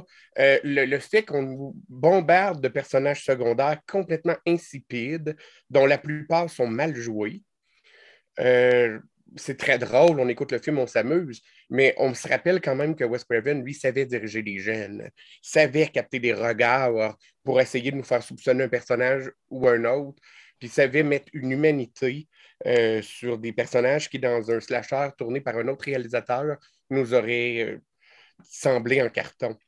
Puis, euh, euh, on s'amuse énormément dans le dernier Scream, et je ne veux pas dire que c'est mauvais. Je suis un fan de slasher, mais tout ce que Raphaël a dit, je trouve que c'est vrai à 100% Puis euh, c'est ironique dans un film qui dénonce les, les suites inutiles parce que c'est un peu peut-être ce que c'est, mais aussi, on n'arrête pas dans le film de citer Halloween Mhm. Avec le requel. Et euh, c'est, en tout cas, c'est très dommage qu'on n'ait pas fait la même chose parce que Halloween, euh, ont fait fi du fait que la vedette de la série est mûre, l'ont fait revenir dans un premier rôle, ce qui fait quelque chose de tripant, d'original. Et euh, ce qui fait qu'en fait, la raison pour le point d'ancrage, comme je disais dans mon texte, des fans, c'est de retrouver ces personnages-là qu'on a aimés. Je veux dire, c'est c'est beau d'apporter des nouveaux personnages. Il faut qu'il y en ait des nouveaux. On a besoin de chair fraîche à éliminer. Euh, sauf qu'il y a des personnages dans ce film-là qui sont d'une stupidité abyssale. Euh, le personnage du, euh, du rebelle qui se fait tuer dans les premières scènes, qui doit dire à peu près deux phrases dans le film. Oui. C'est c'est- c'est vraiment n'importe quoi. Là. Je veux dire, on avait besoin de quelqu'un pour mourir après 10 minutes. Euh, Ouais. C'est tout le genre de, de choses que Wes Craven n'aurait jamais fait euh, parce qu'il était un, un réalisateur de métier euh, qui connaissait d'ailleurs le genre plus que ses deux fans, parce que Scream 5 est un fan-made. Et enfin, j'ai l'air de complètement détruire le film. Là. Je sais que Un petit peu, quoi? oui. Je suis comme, oh mon Mais- Dieu. Non, mais je, pense que, je trouve que c'est, tes, cri- tes critiques, euh, c'est, pas détruire le film. Je pense que c'est juste souligner les points qui sont là. On parlait d'Halloween. Halloween a au moins a su changer son propos en, en tournant, euh, en tournant euh, le- son protagoniste vers justement une femme plus d'âge mûr au lieu d'être des adolescentes, des babysitters. Parce que là, on, on reste un peu dans, dans- dans le même principe de, des jeunes qui. Puis là, c'est le whodunit parmi leur gang d'amis. Je sais que, ah, que Scream, à la base, c'est quelque chose qui est très codifié. Là, il, en, il en parle tout le temps dans chaque film aussi, toutes les fameuses règles et tout ça. Mais malgré tout, je pense que justement, ça aurait été tellement le fun de, de, justement changer ce point de vue-là. Si on, a- on avait retourné Oui. autour de- du trio principal, mais qu'on avait amené ça justement sur un côté peut-être, euh, les, les- peut-être à la limite, genre euh, les, les sortir de, Westboro, puis faire en sorte que, que, que ce soit un truc un peu plus psychologique, puis qu'on se demande, euh, qu'on ait une exploration peut-être plus, plus psychologique de les personnages. là. Imaginez, mettons, un film où c'est que Dewey, il se demande s'il est en train de, vi- de- de virer fou, puis c'est, pas lui qui est en train de tuer ses amis ou quelque chose comme ça. Quelque chose pour aller parler de l'horreur actuelle qui est souvent plus tournée vers ça puis de, retourner un peu les codes. Je sais pas, il y aurait quelque chose d'intéressant euh, à faire avec cette saga-là qui est tellement tout le temps été tournée vers le fait de réénergiser le genre. Puis, tu sais, on, on s'entend euh, en ce moment, les, les, les films euh, un peu à la A24, autant on, on- on les aime bien, mais Oui. autant il y, y en pilule, puis il y en a une couple là-dedans qui sont un peu bof-bof. là. Puis il y aurait de la, y a- qu'ils sont, qui sortent juste parce que, tu ils, ils- ils se vantent d'avoir un propos euh, puis d'être intelligent, mais que dans les faits, c'est un peu du vent. Puis il y aurait quelque chose à dire à propos de ce genre de, de films-là, puis qui, qui sont vraiment un peu la, la saveur du jour. Fait que je sais pas. Moi, j'espérais ça, là, mais peut-être que je m'attendais à trop. là. Parce que, mais dans les faits, comme je dis, puis Jeff, on est d'accord, le film est, est le fun, là, puis on, on a apprécié notre Oui, séance. tout à puis fait, tout à fait. c'est c'est pas, pas du tout un mauvais film, c'est juste Ah, Scream, Scream, ça aurait tellement pu être plus. Ah. Wes Craven n'est plus là et ça se sent. faut Mhm. le dire, tu sais. Puis euh, aussi, tu sais, je sais pas si vous avez trouvé ça, mais la façon qu'on fait revenir les personnages, moi, je suis pas sûr que j'ai aimé ça. Euh, Ah, pour vrai? ben, je veux dire, moi, sérieux, Sidney Prescott, euh, qui est supposément marié avec Mark Kincaid, l'officier de police, OK, qui, alors qu'elle était juste une connaissance, était prêt à Mhm. faire n'importe quoi pour la protéger, la laisse aller seule à Woodsboro. Euh, parce qu'on suppose, on suppose vraiment que c'est Marc qui lui a dit que Louis était mort. hein. Parce qu'elle dit, elle se dépêche à dire à, à Gail, euh, aussitôt que je l'ai su, je suis venu. C'est ça qui est magnifique, que Sydney revienne pour Gail. Imagine-toi le growth qu'elle a fait depuis le premier. Mm. Mm. Mais ça, Moi, ça, j'ai trouvé ça beau. ça. Sérieux, ça, ça, ça se tient pas. Ça, c'est Ah, probablement- trouves? Moi, je trouve Ben, ça c'est son super mari, beau. probablement policier, qui l'a averti que Louis était mort, on suppose, OK? Et son mari la laisserait venir seule à Ben oui, il reste avec les enfants. Sydney, là, rendu pas dans la- Ben, c'est elle qui porte les culottes, Sydney. Là, Sydney, elle a dit à son mari Toi, tu ne mets pas ta face là parce que ça va être en danger. Moi, je m'en vais sauver ma famille. Je suis une mère maintenant. Ça finit pas tant qu'il n'est pas en dessous de la terre. Puis elle l'a dit hein, Elle est arrivée le voir, puis elle a dit Il faut que tu nous aides à le tuer. faut pas que tu nous aides à. Ah, moi, je la trouve kékasse. C'est. Ah, Ah j'adore. ouais, je l'adore, je l'adore. Oui, oui, mais oui. j'aurais aimé qu'il y ait plus, qu'on développe plus un peu son arrivée à Woodsboro, que je trouve un Mhm. peu euh, aléatoire. Ça ne tente plus de faire des screams, Neve Campbell. Ouais, c'est ça qui arrive, je pense. Ben, moi, je crois que oui, parce que je crois que malheureusement, pour. Et on ne veut pas le dire parce qu'on l'adore, mais la triste réalité, c'est qu'elle a dépassé 30 ans, puis que pour une actrice, quand tu dépasses 30 ans, tu as de la misère à avoir des rôles. Et Neve Campbell, c'est très plate à dire parce qu'elle est très bonne et encore très belle, mais c'est Mhm. une has-been. Non, c'est pas une là. Je veux pas péter ta Ben, À, Hollywood, un petit peu, je pense. pas, dans, pas dans nos cœurs, mais on, je Non, c'est pas ça, que- exactement. Elle a, elle a plus de, de paparazzi qui courent après elle à chaque. euh, Non, elle, elle a sûr, passé son, Puis, son, son euh, prime time. Là. comment vous avez trouvé la mort de Dewey? Moi, sérieux, un personnage qu'on a aimé de même pendant quatre films, j'aurais aimé ça qu'il y ait une mort digne, Ouais, c'est vrai. au lieu d'avoir une mort complètement, complètement ridicule, soyons sérieux. Il revient sur les pas, puis qu'il Ouais. dit Ah, il faut leur tirer. de- Ah. Enfin, je veux pas y penser. Le film était super le fun, puis je suis un fan de la série, puis je, veux pas. Je veux essayer que le cœur l'emporte sur la raison, mais euh, c'est dur parfois. Je suis, euh, c'est pas du tout le film que j'aurais voulu voir. Ça prend 36 minutes avant qu'on voit Sidney. Imaginez. Ouais, mais tu vois, moi, je trouve que c'est un passage du flambeau pour que justement, pour que Scream puisse continuer après nous autres. C'est notre- ça le problème, on veut pas qu'elle passe le flambeau. C'est elle qu'on veut. Pourquoi qu'à partir de 35 ans, le tueur ne veut plus la tuer? Y a- Ah, Est-ce non, qu'il y a mais un hey. âge limite?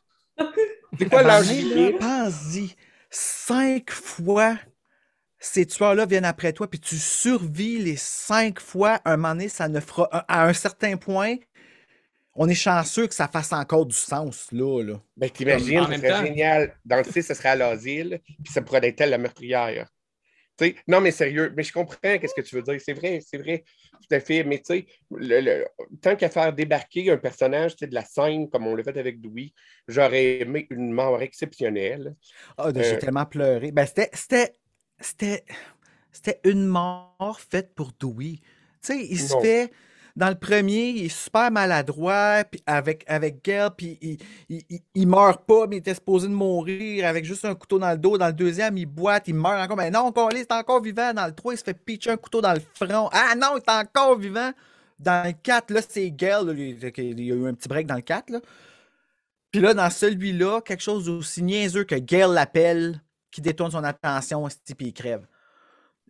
Ouais, mais il- Dewey ne pouvait pas mourir d'une façon sérieuse. Mais pour Ah, vrai, il hyper pu avoir tragique, une-. Moi, j'aurais aimé qu'il y ait une tombée, euh, une tombée de rideau exceptionnelle, comme on dit. Parce que ça fait trop longtemps comme qu'on on l'admire. Puis, euh, ben, Ça tu sais, Il Ça est nous a pas mort surpris non plus. dignement, là. Mais ça nous a il pas est surpris. mort en, Non, pas suivant les règles qu'il suit depuis, à la lettre depuis le début. Puis là, il a dit No fucking way que je vais faire comme Séné dans Scream 2, puis que je vais m'en aller tout de suite. Euh, tu sais, comme, euh, pour- puis que je vais, tu sais, elle, elle va pas pour enlever le masque, comme, tu sais, elle reste pas, elle sauve, puis après ça, elle revient, puis là, sa meilleure amie, elle meurt, puis Mhm. C'est une erreur qu'elle a faite. Mais lui, il est comme, fuck it, j'y vais, mais là, Gail, elle l'appelle. Moi, c'est à Gail ça qui que a j'ai pensé aussi. Parce que c'était frustrant dans celle-là quand que, elle laissait même pas d'enlever le masque pour voir c'est qui. tu sais, euh. Fait que. euh, puis là, le fait que lui, il retourne, j- tu sais, j'ai trouvé ça OK parce que oui, ça fait pas de sens qu'il il l'ait tué puis qu'ils font juste OK, on s'en va. Tu sais, voyons. Tu- veux savoir c'est qui? Tu sais, tu veux. D'où d'un coup qui est pas mort, tu sais, mais. C'est ça, exactement. Mais ton ça, reste, mais ça reste, genre, un petit peu, moi, ce qui ce qui- ce que, genre, aussitôt qu'il est sorti de l'ascenseur, j'ai dit à la personne avec qui j'écoutais le film, OK, Dewey meurt. ben oui. C'était Ah, ben, évident. on le savait Mais- avant parce que dans l'annonce, tu vois Gail qui arrive et qui fait de même. J'ai fait Ah, Dewey meurt. Hmm. Moi, la Euh, dernière fois qu'elle avait j'avais- fait ça, J'avais pas regardé le trailer, moi, puis je m'étais pas fait spoiler. Puis, pour, puis, tu sais, je l'ai comme catché la thématique parce qu'on est habitué à ces règles-là. C'est quelque chose qui est très fréquent. là. C'est exactement la même mort qu'Anne Solo. C'est, quelque chose que, que- qu'on, qu'on voyait venir à des kilomètres à la ronde. Puis, ça aurait été le fun, justement, vu que c'est Scream, que genre dire, OK, c'est la règle. Là, c'est le moment où c'est, c'est évident que je vais mourir. Ben, je mourrai pas, je vais faire de quoi, tu sais? Parce que, Mhm. justement, il- en plus, dans, dans ce film-là, il se présente Dewey comme étant le gars qui est aware des règles. Dans- au début du film, il, il, Ouais. que Richie, c'est, Mm. c'est le, c'est C'est le- c'est le tueur. Mm. Justement, genre, j'espérais ça, mais je, je sais pas. C'est peut-être encore une fois, moi qui espérais trop, puis qui est trop ancré dans mon côté, mis en abîme, mais ouais, il y a c'est quelque chose qui elle m'a que je savais tout le long, Ben oui, mais moi, c'est ça que j'ai aimé, euh, c'est que je me suis doutée de elle tout le long, mais pas de lui. Non, moi non Ça, ça rappelait un peu le premier, où ce que, tu sais, il y en a un qui est louche, tu penses que c'est lui, puis finalement, ce sont deux, tu sais. Mais euh, je l'ai vraiment aimé, Mickey Madison. Savez-vous à qui qui me faisait vraiment penser à la fin, là, quand elle vire vraiment folle, là, tu sais, puis qu'elle est comme... euh, ben, ça vire pas folle, là, mais tu sais, Mm. un peu, là, elle est vraiment psychopathe, Psycho, là. hein. Ah, pas bien. Elle, elle me faisait penser à Gogo dans Kill Bill. Celle avec la. euh, la- la, euh, l'espèce de boule à pic, là, tu sais, qui va euh, Oui, se battre. Comment Oui, c'est s'appelle, ça. tu dis? Gogo. Go, go. Mais tu sais, la référence à Tarantino est, est, est, est- est le fun que tu as à face aussi, parce qu'avant qu'on commence l'épisode, je l'avais, je l'avais dit, là, c'est la même actrice qui se fait euh, ca- calciner par Oui. Leonardo DiCaprio dans Once Upon a Time in Hollywood, puis elle se fait calciner de la même façon. Dans ma tête, c'est pas innocent, là, genre, il, il est clairement, euh, c'était clairement voulu, là, c'est clairement euh, un petit clin d'œil, je pense. Là. Ouais. Mais tu sais, le- l'espèce de, de, de lueur psychopathe dans son regard, Oui. là, ça me faisait vraiment penser au personnage de, de Kill Bill. là, tu sais, Mm. euh, Puis c'est un Je l'ai personnage aimé que son reveal à elle. Ah, c'est- Oui. super d'un comme. Hey, alors, boum! Wow! Moi, je- quand je l'ai vu la première fois, je OK, c'est là, Jenna Ortega, je m'excuse, mais il faut que j'y lève mon verre. Euh, L'opening girl qui ne meurt pas. Mm. Mais, euh, oh my God, qu'elle est bonne. Je l'avais vue dans You, la série You, euh, dans laquelle elle jouait. Puis je sais pas, elle a comme quelque chose. Euh, après ça, je l'avais vue dans à, à Drew, qu'elle disait qu'elle était vraiment fière d'arriver dans, dans la famille de Scream, qu'elle était excitée, qu'elle en pleurait quasiment. Hmm. Puis j'ai trouvé ça tellement touchant parce que j'ai fait aïe, aïe, ça là, c'est comme. Quand écouté Scream 1, elle était même pas née, là, tu sais. Mhm. Puis là, elle, elle arrive là, puis elle est toute excitée à un point parce que ses parents connaissaient ça, puis nanana, puis tu sais, elle s'en va jouer là-dedans. Fait il y avait une fierté, puis là, je la vois dans le film et son niveau de terreur. Parce qu'on s'entend, là, comparé à Drew, elle vit pas tant le. Ben oui, là, c'est un calvaire, là, on s'entend. Mais. Tu sais, c'est pas aussi un chase scene, puis tout ça, tu sais, ça se passe pas mal dans la cuisine, Ouais, mais il y a un ramasse en tabarnouche. Là. hey, Ouais. tu dis, oh Ouais, my god, Puis puis- ça n'a pas d'allure qu'elle soit vivante, même. C'est ça. Puis je pense, Hey. je, corrigez-moi si je me trompe, mais selon moi, c'est le plus violent de toute la série. C'est celui qui a le plus de sang, le plus de scènes où tu fais. Puis je sais pas si c'est moi qui vieillis, mais il me semble que les acteurs, ils sont plus jeunes, fait que ça, ça vient me chercher. Oui, je comprends qu'est-ce que tu veux dire. Ils ont l'air, ben, c'est parce qu'on n'a plus leur âge. Hein? C'est ça, exactement. oui. Mais tu parles. C'est ça, de- justement, qui est le transfert qui se fait en ce moment. C'est que ça, c'est le Scream pour ceux qui ont comme 13 ans en ce moment. Là. C'est ça. Puis qui sont comme. Puis, puis nous autres, notre job, c'est de leur expliquer les autres Scream, puis d'où ça vient, puis que ça se perde pas, puis que ça a tout commencé là, tu sais. C'est tellement cliché, si c'est ça le- le- c'est ça l'objectif. je, je te crois à 100%. J'ai vu, Ben, c'est complètement film, ça. Mais je, je trouve que c'est tellement euh, désuet, cucu d'une Ouais, franchise. mais il n'est pas trop ça tard pour partir passer. un autre Scream ailleurs par d'autres mondes aussi, puis de faire un Scream Reborn. Ils ont tous essayé, la série, euh, le- le- il y a les fan-films, il y en a un d'ailleurs, Scream Generation, sur YouTube, que j'ai trouvé excellent pour un fan-film, là, j'ai trippé bien raide. Euh, C'est ça. Ce que tu dis, c'est pas faux. Peut-être que dans une nouvelle trilogie, ça, ça va prendre plus de sens, euh, ce Mm. ce- virement-là. Peut-être justement avec. euh, ben, on ne l'a pas beaucoup parlé, mais le personnage principal, le Sam, euh, Sam, Carpenter, qui finalement est Sam Loomis. dans le fond, quand tu y penses, c'est Oui, Sam Loomis, son nom. Ouais. Mais, c'est mais, c'est que j'aime ça. les, les deux, les deux actrices euh, principales, les deux sœurs, euh, je les ai trouvées super bonnes. Moi, je trouve que c'était un des points forts du film. Je les ai trouvées attachantes au bout, les deux. Euh, J'avais envie qu'ils Oui. survivent. euh, J'avais envie de les suivre. S'il y a une suite avec elles, je vais être content de, de- de les revoir. euh, Mhm. je trouvais que c'était. Les, les deux, ils ont très bien joué ça. là. Hey, je vais être le chialeux de service, là, mais Mm. J'ai adoré euh, euh, Jenna Ortega. Euh, même si j'aurais aimé qu'on ne nous fasse pas croire qu'elle se faisait tuer au début si on voulait la faire survivre. J'ai trouvé que c'était comme un- une manipulation euh, gratuite et moins bienvenue. Euh, mais euh, je suis moins sûr de sa sœur là, qui essayait de faire pitié tout le long du film, puis que ça servait juste à nous la rendre un peu coupable. Puis... Mais, Mhm, mais reste ouais. que même, même les, autres acteurs, les autres jeunes acteurs qui les entourent, c'est vraiment pas. euh, je sais pas où ils sont allés les chercher, là, mais moi, j'ai- pas été. Faut dire qu'on peut pas leur en vouloir, ils n'ont rien à jouer. Tu sais, je veux dire, ils ont. ils ont- Ah, une mais t'as phrase. pas aimé la, la, la nièce à Randy? Ben, je le Jock, lui, il est juste beau, mais l'autre est fucking drôle, là. Oui, elle est drôle, sauf qu'elle dit, on la voit à peu près pour deux frères dans le film. Puis, tu sais, euh, J'ai aimé les jumeaux Ben. aussi, la dynamique ben, c'est ça, ben, avec on- les on les- jumeaux. Mais sont... tous les personnages secondaires, je les trouve mal Mais tu sais, développés. en même temps, moi, je suis jumeau dans la vie euh, avec une fille aussi. Puis genre, je trouvais que c'était absurde que son frère disparaisse puis qu'elle sait qu'il va mourir puis qu'elle s'en calisse. Là. Genre, moi, il n'y a aucune Ben chance oui. que, genre, ma soeur disparaît, puis qu'il y a un tueur en liberté, que, genre, je reste assis sur sofa à regarder euh, Scream 1, là. T'sais, Là, ça reste Scream. Mais je Euh, pense que je pense que je pense pas qu'elle réalise vraiment. Tu sais, je pense qu'elle est juste dans son dans son Euh, je jeu. l'ai tête, là. Ouais, ben, déjà, oui. Puis tu sais, elle est comme dans sa stratégie, mais je pense pas qu'elle réalise qu'elle vit vraiment qu'est-ce qu'elle est en train de vivre à Mais- ce moment-là. Tu sais, moi, je pense que c'était plus ça. là. La scène où elle est heureuse d'être dans un requel, là, au début, ça, c'est c'est le fun. là, tu sais. ouais. Puis c'est pour ça que je trouve que c'est un personnage qui est peut-être pas assez bien développé parce que dans les scènes où elle a moindrement des dialogues mordants, je dis moindrement parce que d'après moi, dans le film, il n'y en a pas vraiment de dialogues mordants. Mais, mais, euh, le personnage, on voit qu'il y a quelque chose à tirer, tu sais. Mhm. Mais je sais pas, moi, les personnages secondaires du film m'ont plus ou moins interpellé. Mais tu sais, c'est vrai parce qu'il y avait. euh, il a fallu que je Google parce que moi, les noms d'acteurs. là. Dylan Minette. Ah. Minette, oui. Ouais, Euh, le- Et- moi, je, je l'ai connu dans 13 Reasons Why, Mm. puis euh, tu sais, il a joué dans Charlotte aussi, puis il est Don't bon, Breathe. là, tu sais, mais c'est vrai qu'il n'y avait pas de jus dans son personnage dans ce film-là. What? Ah, ouais! Ah, ok, excusez. Je le prononce-tu?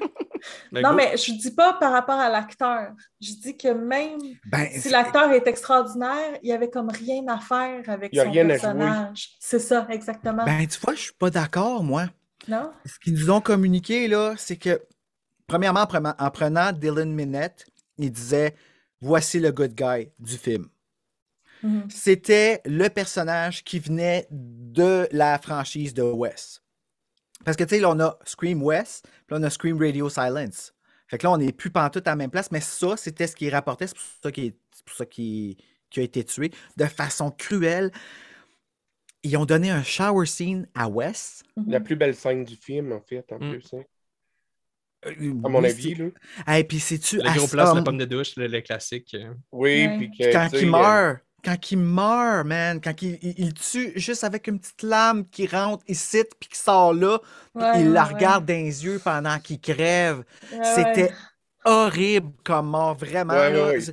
C'était horrible. c'est vrai. Puis Moi, j'étais juste contente qu'il tue sa mère avant, parce que je Ben, moi-même une mère, puis Imagine, Ghostface, il, il devient personnel dans celui-là. Mhm.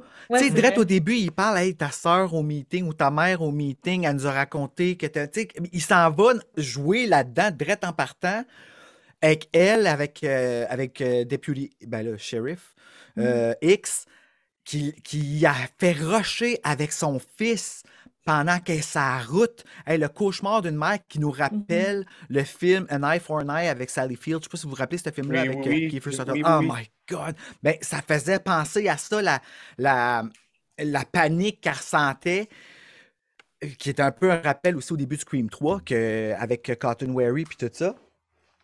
Euh, c'était, moi, écoute, j'ai trouvé, c'est le good guy qui rappelle aussi Samantha pour dire, hey, vous vous parlez plus depuis des années, mais ta soeur aurait besoin de toi, puis tu aurais besoin de ta soeur. Tu sais, c'est, c'est celui qui rallie tout ça. Ma mère, elle t'aime pas, mais je te respecte quand même parce que je respecte tout le monde. Je trouve que son personnage était parfaitement instauré. Puis, ah, je suis tellement déçu qu'il soit mort. Ben, Il quelque meurt chose tout de, le de- temps. mais quelque chose de, de- justement, si on rentre dans le côté méta, justement, c'est West qui, c'est à cause de West que l'histoire se démarre. Mais il ne Mm. pouvait pas rester parce que West, euh, il plus là, tu sais, West. euh, Ouais. Mm. Non, c'était pas- éthique, ce film-là. Je, je- je l'ai trouvé. euh, je trouvais que tous les petits, euh, les petits clins d'œil qu'ils nous ont fait, c'était le parfait au revoir qu'ils pouvaient faire. à- pas un au revoir, mais un OK, c'est temps. euh, It's time to let go. Puis de, de prendre que quelqu'un d'autre prenne le flambeau pour que Scream puisse continuer parce que nous autres, on a vécu l'ensemble. Là, si tu Sydney? Oh, t'acceptes ça de façon tellement passive. T'acceptes tellement de façon passive qu'on soit rendu les vieux et qu'on passe le flambeau à Mais c'est beau de vieillir. C'est beau de vieillir. Moi, là, mon neveu, là, en ce moment, là, il est exactement où est-ce que j'étais quand j'étais jeune, où est-ce que euh, regarder quelque chose d'horreur, je tripais, mais je criais ma vie pour dormir le soir parce que j'avais peur puis je capotais. Fait que là, il faut retourner à la base. Fait que là, on commence avec des goosebumps. Puis, ah, qu'on va écouter genre des TV-films où est-ce que c'est un peu épeurant. On peut y faire écouter Les Enfants perdus de Lucas Jalbert, plug, wink, wink. Euh, mais, Mais tu sais, il y a tout ce temps, petit. Je suis d'accord avec toi, genre, c'est c'est le fun. euh, Il faut, faut vieillir, lequel, puis- là? puis- avec euh, toi, Bruno, dans le sens qu'il faut, il faut vieillir, puis genre, accepter que les, les choses transitionnent. Mais ce Mm. Scream-là, c'est pas un film. Je sais pas à quel point ça va parler à la jeune génération. Pour vrai, parce que c'est quand même un film qui est très axé autour de la nostalgie que nous, on, a- on pouvait avoir pour, les, pour les- la vieille série. Puis je sais pas à quel point les jeunes, ils les ont vus, les Scream. C'est très daté pour eux, je Ben, pense. ils vont là. C'est aller très les années voir 90, là. C'est très années 90, là. Honnêtement. Ouais, mais en même temps, c'est comme, c'est comme ça que ça marche. Ils Mhm. sortent un film, un remake ou un reboot ou peu importe qui, qui, qui est très moderne. Puis là, ils accrochent les jeunes. Puis là, les jeunes, ils font Ah, c'est nice. Puis ils vont. Fait que les stars vont sur Cinépop, les catons ça. là. Ouais! Exactement, c'est ça. Oui, mais honnêtement, j'aimerais ça vous croire, mais c'est parce que ben, je suis trop cynique, là, mais j'ai l'impression que tu sais, les, les films d'horreur que les jeunes écoutent en ce moment, c'est pas des slashers tant que ça. C'est pas les slashers Ah non, ça ne pognera pas autant. Là. On peut pas refaire qu'est-ce que Scream 1 a fait. Ben, c'est ça qu'il aurait dû On- essayer de faire un peu. Je pense qu'il aurait dû essayer un peu plus. Mais est-ce qu'il y a besoin de ça en ce moment dans l'horreur? On est rendu avec tellement, tellement de branches et tellement d'ouvertures qu'on on- on consomme même l'horreur des autres pays. Puis euh, on a des fans de tous les genres partout. Est-ce qu'on a besoin de revoir un Scream qui vienne faire shaker tout ça quand on a déjà tellement d'ouvertures? je pense que c'est peut- vrai dans notre microcosme, mais c'est pas vrai dans le mainstream. Euh, Ben, J'ai l'impression que, que- l'horreur mainstream, Ouais. elle, c'est- c'est- elle a besoin d'être renouvelée un petit peu. là. Je pense qu'on a quand même on a fait, le, on a fait le tour un peu du Conjuring Universe, puis on a fait le tour un peu de. Je sais pas. Il y a, il y a moyen- je pense qu'il y, aura- il y aurait moyen d'avoir un discours sur. euh, sur je pense que le cinéma de genre en général, justement, on est très beaucoup dans les remakes aussi. On voit avec le succès de Mm. Hit, on le voit avec le succès. tu sais, il- on sait, là, il y a eu une pluie de, d'espèces de réinventer des, des, des sagas, tout ça. C'est juste ça qui se fait à Hollywood. C'est comme si c'était la saga parfaite pour justement aller réactualiser ce discours-là dans un moment, ce Mm. qu'il fallait le faire. Puis c'est pour ça que j'ai aimé Matrix 4 aussi, parce que c'est exactement ça qu'ils ont fait, le choix qu'ils ont fait, choisi. Mais justement, je pense que ce film-là, malheureusement, si, si leur but, c'est d'aller parler à la nouvelle génération, ça va peut-être marcher pour les jeunes qui sont déjà fans d'horreur, mais ça ne va pas les rallier tant de nouveaux mondes, j'ai l'impression. Mais, J'ai ouais, l'impression ce que je c'est notre comprends- job, ça. Ce que, je, ben, ça, ce que je comprends de votre, euh, de votre discussion, c'est- en fait, c'est que le public sim est mal défini. Parce Mm. que on dirait qu'il y a deux déceptions finalement. Ils ont comme essayé de plaire à tout le monde, puis finalement, ça a un peu. Ils ont un peu tiré à côté de la. euh, de la- de la- en tout cas, je ne sais pas mon expression, mais euh, j'ai rendu 11 heures le soir. Euh, On a toujours pas parlé du N pointu. ils ont... Ils ont manqué leur shot des, des deux côtés en voulant plaire à tout le monde, finalement, parce que, euh, euh, tu sais, c'est comme on voit les vieux pour les, pour, pour les vieux. Bon, euh, je me, je me qualifie de vieille maintenant. Euh, pour les fans de l'ancienne génération. euh, Que- quel mot qu'il ne faut pas dire, apparemment. Euh, tu sais, Mm. Il n'y a comme pas assez des. on ne voit pas les anciens assez longtemps, sont pas assez badass, c'est pas assez si, c'est trop nouveau. Puis pour la nouvelle génération, c'est comme si là, on... c'est trop, c'est pas assez euh, mis au goût du jour, c'est, ça va chercher les vieux codes. C'est, c'est comme s'ils ont, ils ont manqué leur shot, dans le fond. tu sais, en Je le vois tellement le comme un scream de transition que je suis comme pas capable d'y reprocher ça. Mais peut-être parce que je suis vraiment pas impartial puis que j'aime tellement ça que je suis comme. Mais je, je pense pas que t- je pense pas que tu as tort de, de l'aimer, puis je pense que tous tes points euh, sont extrêmement valides, puis on, on a apprécié le film, nous autres aussi. Mais je Oui, pense que c'est c'est vraiment, pour moi, comme tu dis, peut-être que j'espère, en fait, moi, je pense que je conclurais euh, mon point sur Scream 5 là-dessus. là. J'espère que tu as raison, puis la fin de transition, puis que ça va prendre son sens dans une nouvelle trilogie ou une nouvelle saga. J'espère, Ça, ça va, ça va vraiment euh, marcher comme ça. Parce que autrement, je trouve que c'est un petit peu du gâchis. Mais Hey. juste un petit peu. Moi, je, je suis contente parce que euh, je voyais du monde le critiquer sur Facebook, puis euh, moi, je l'ai vraiment apprécié du début à la fin, tu sais, puis euh, j'avais hâte de voir votre avis justement pour voir parce que je n'arrivais pas à y trouver des points négatifs. Sauf que tous les points négatifs que vous avez vus, je peux pas faire autrement que d'être d'accord avec vous, finalement. Fait que j'ai vraiment apprécié le film. J'étais allée voir, j'ai eu le gros sourire tout le long. J'ai vraiment capoté, j'ai tripé puis tout ça. Mais c'est vrai qu'il y a des failles.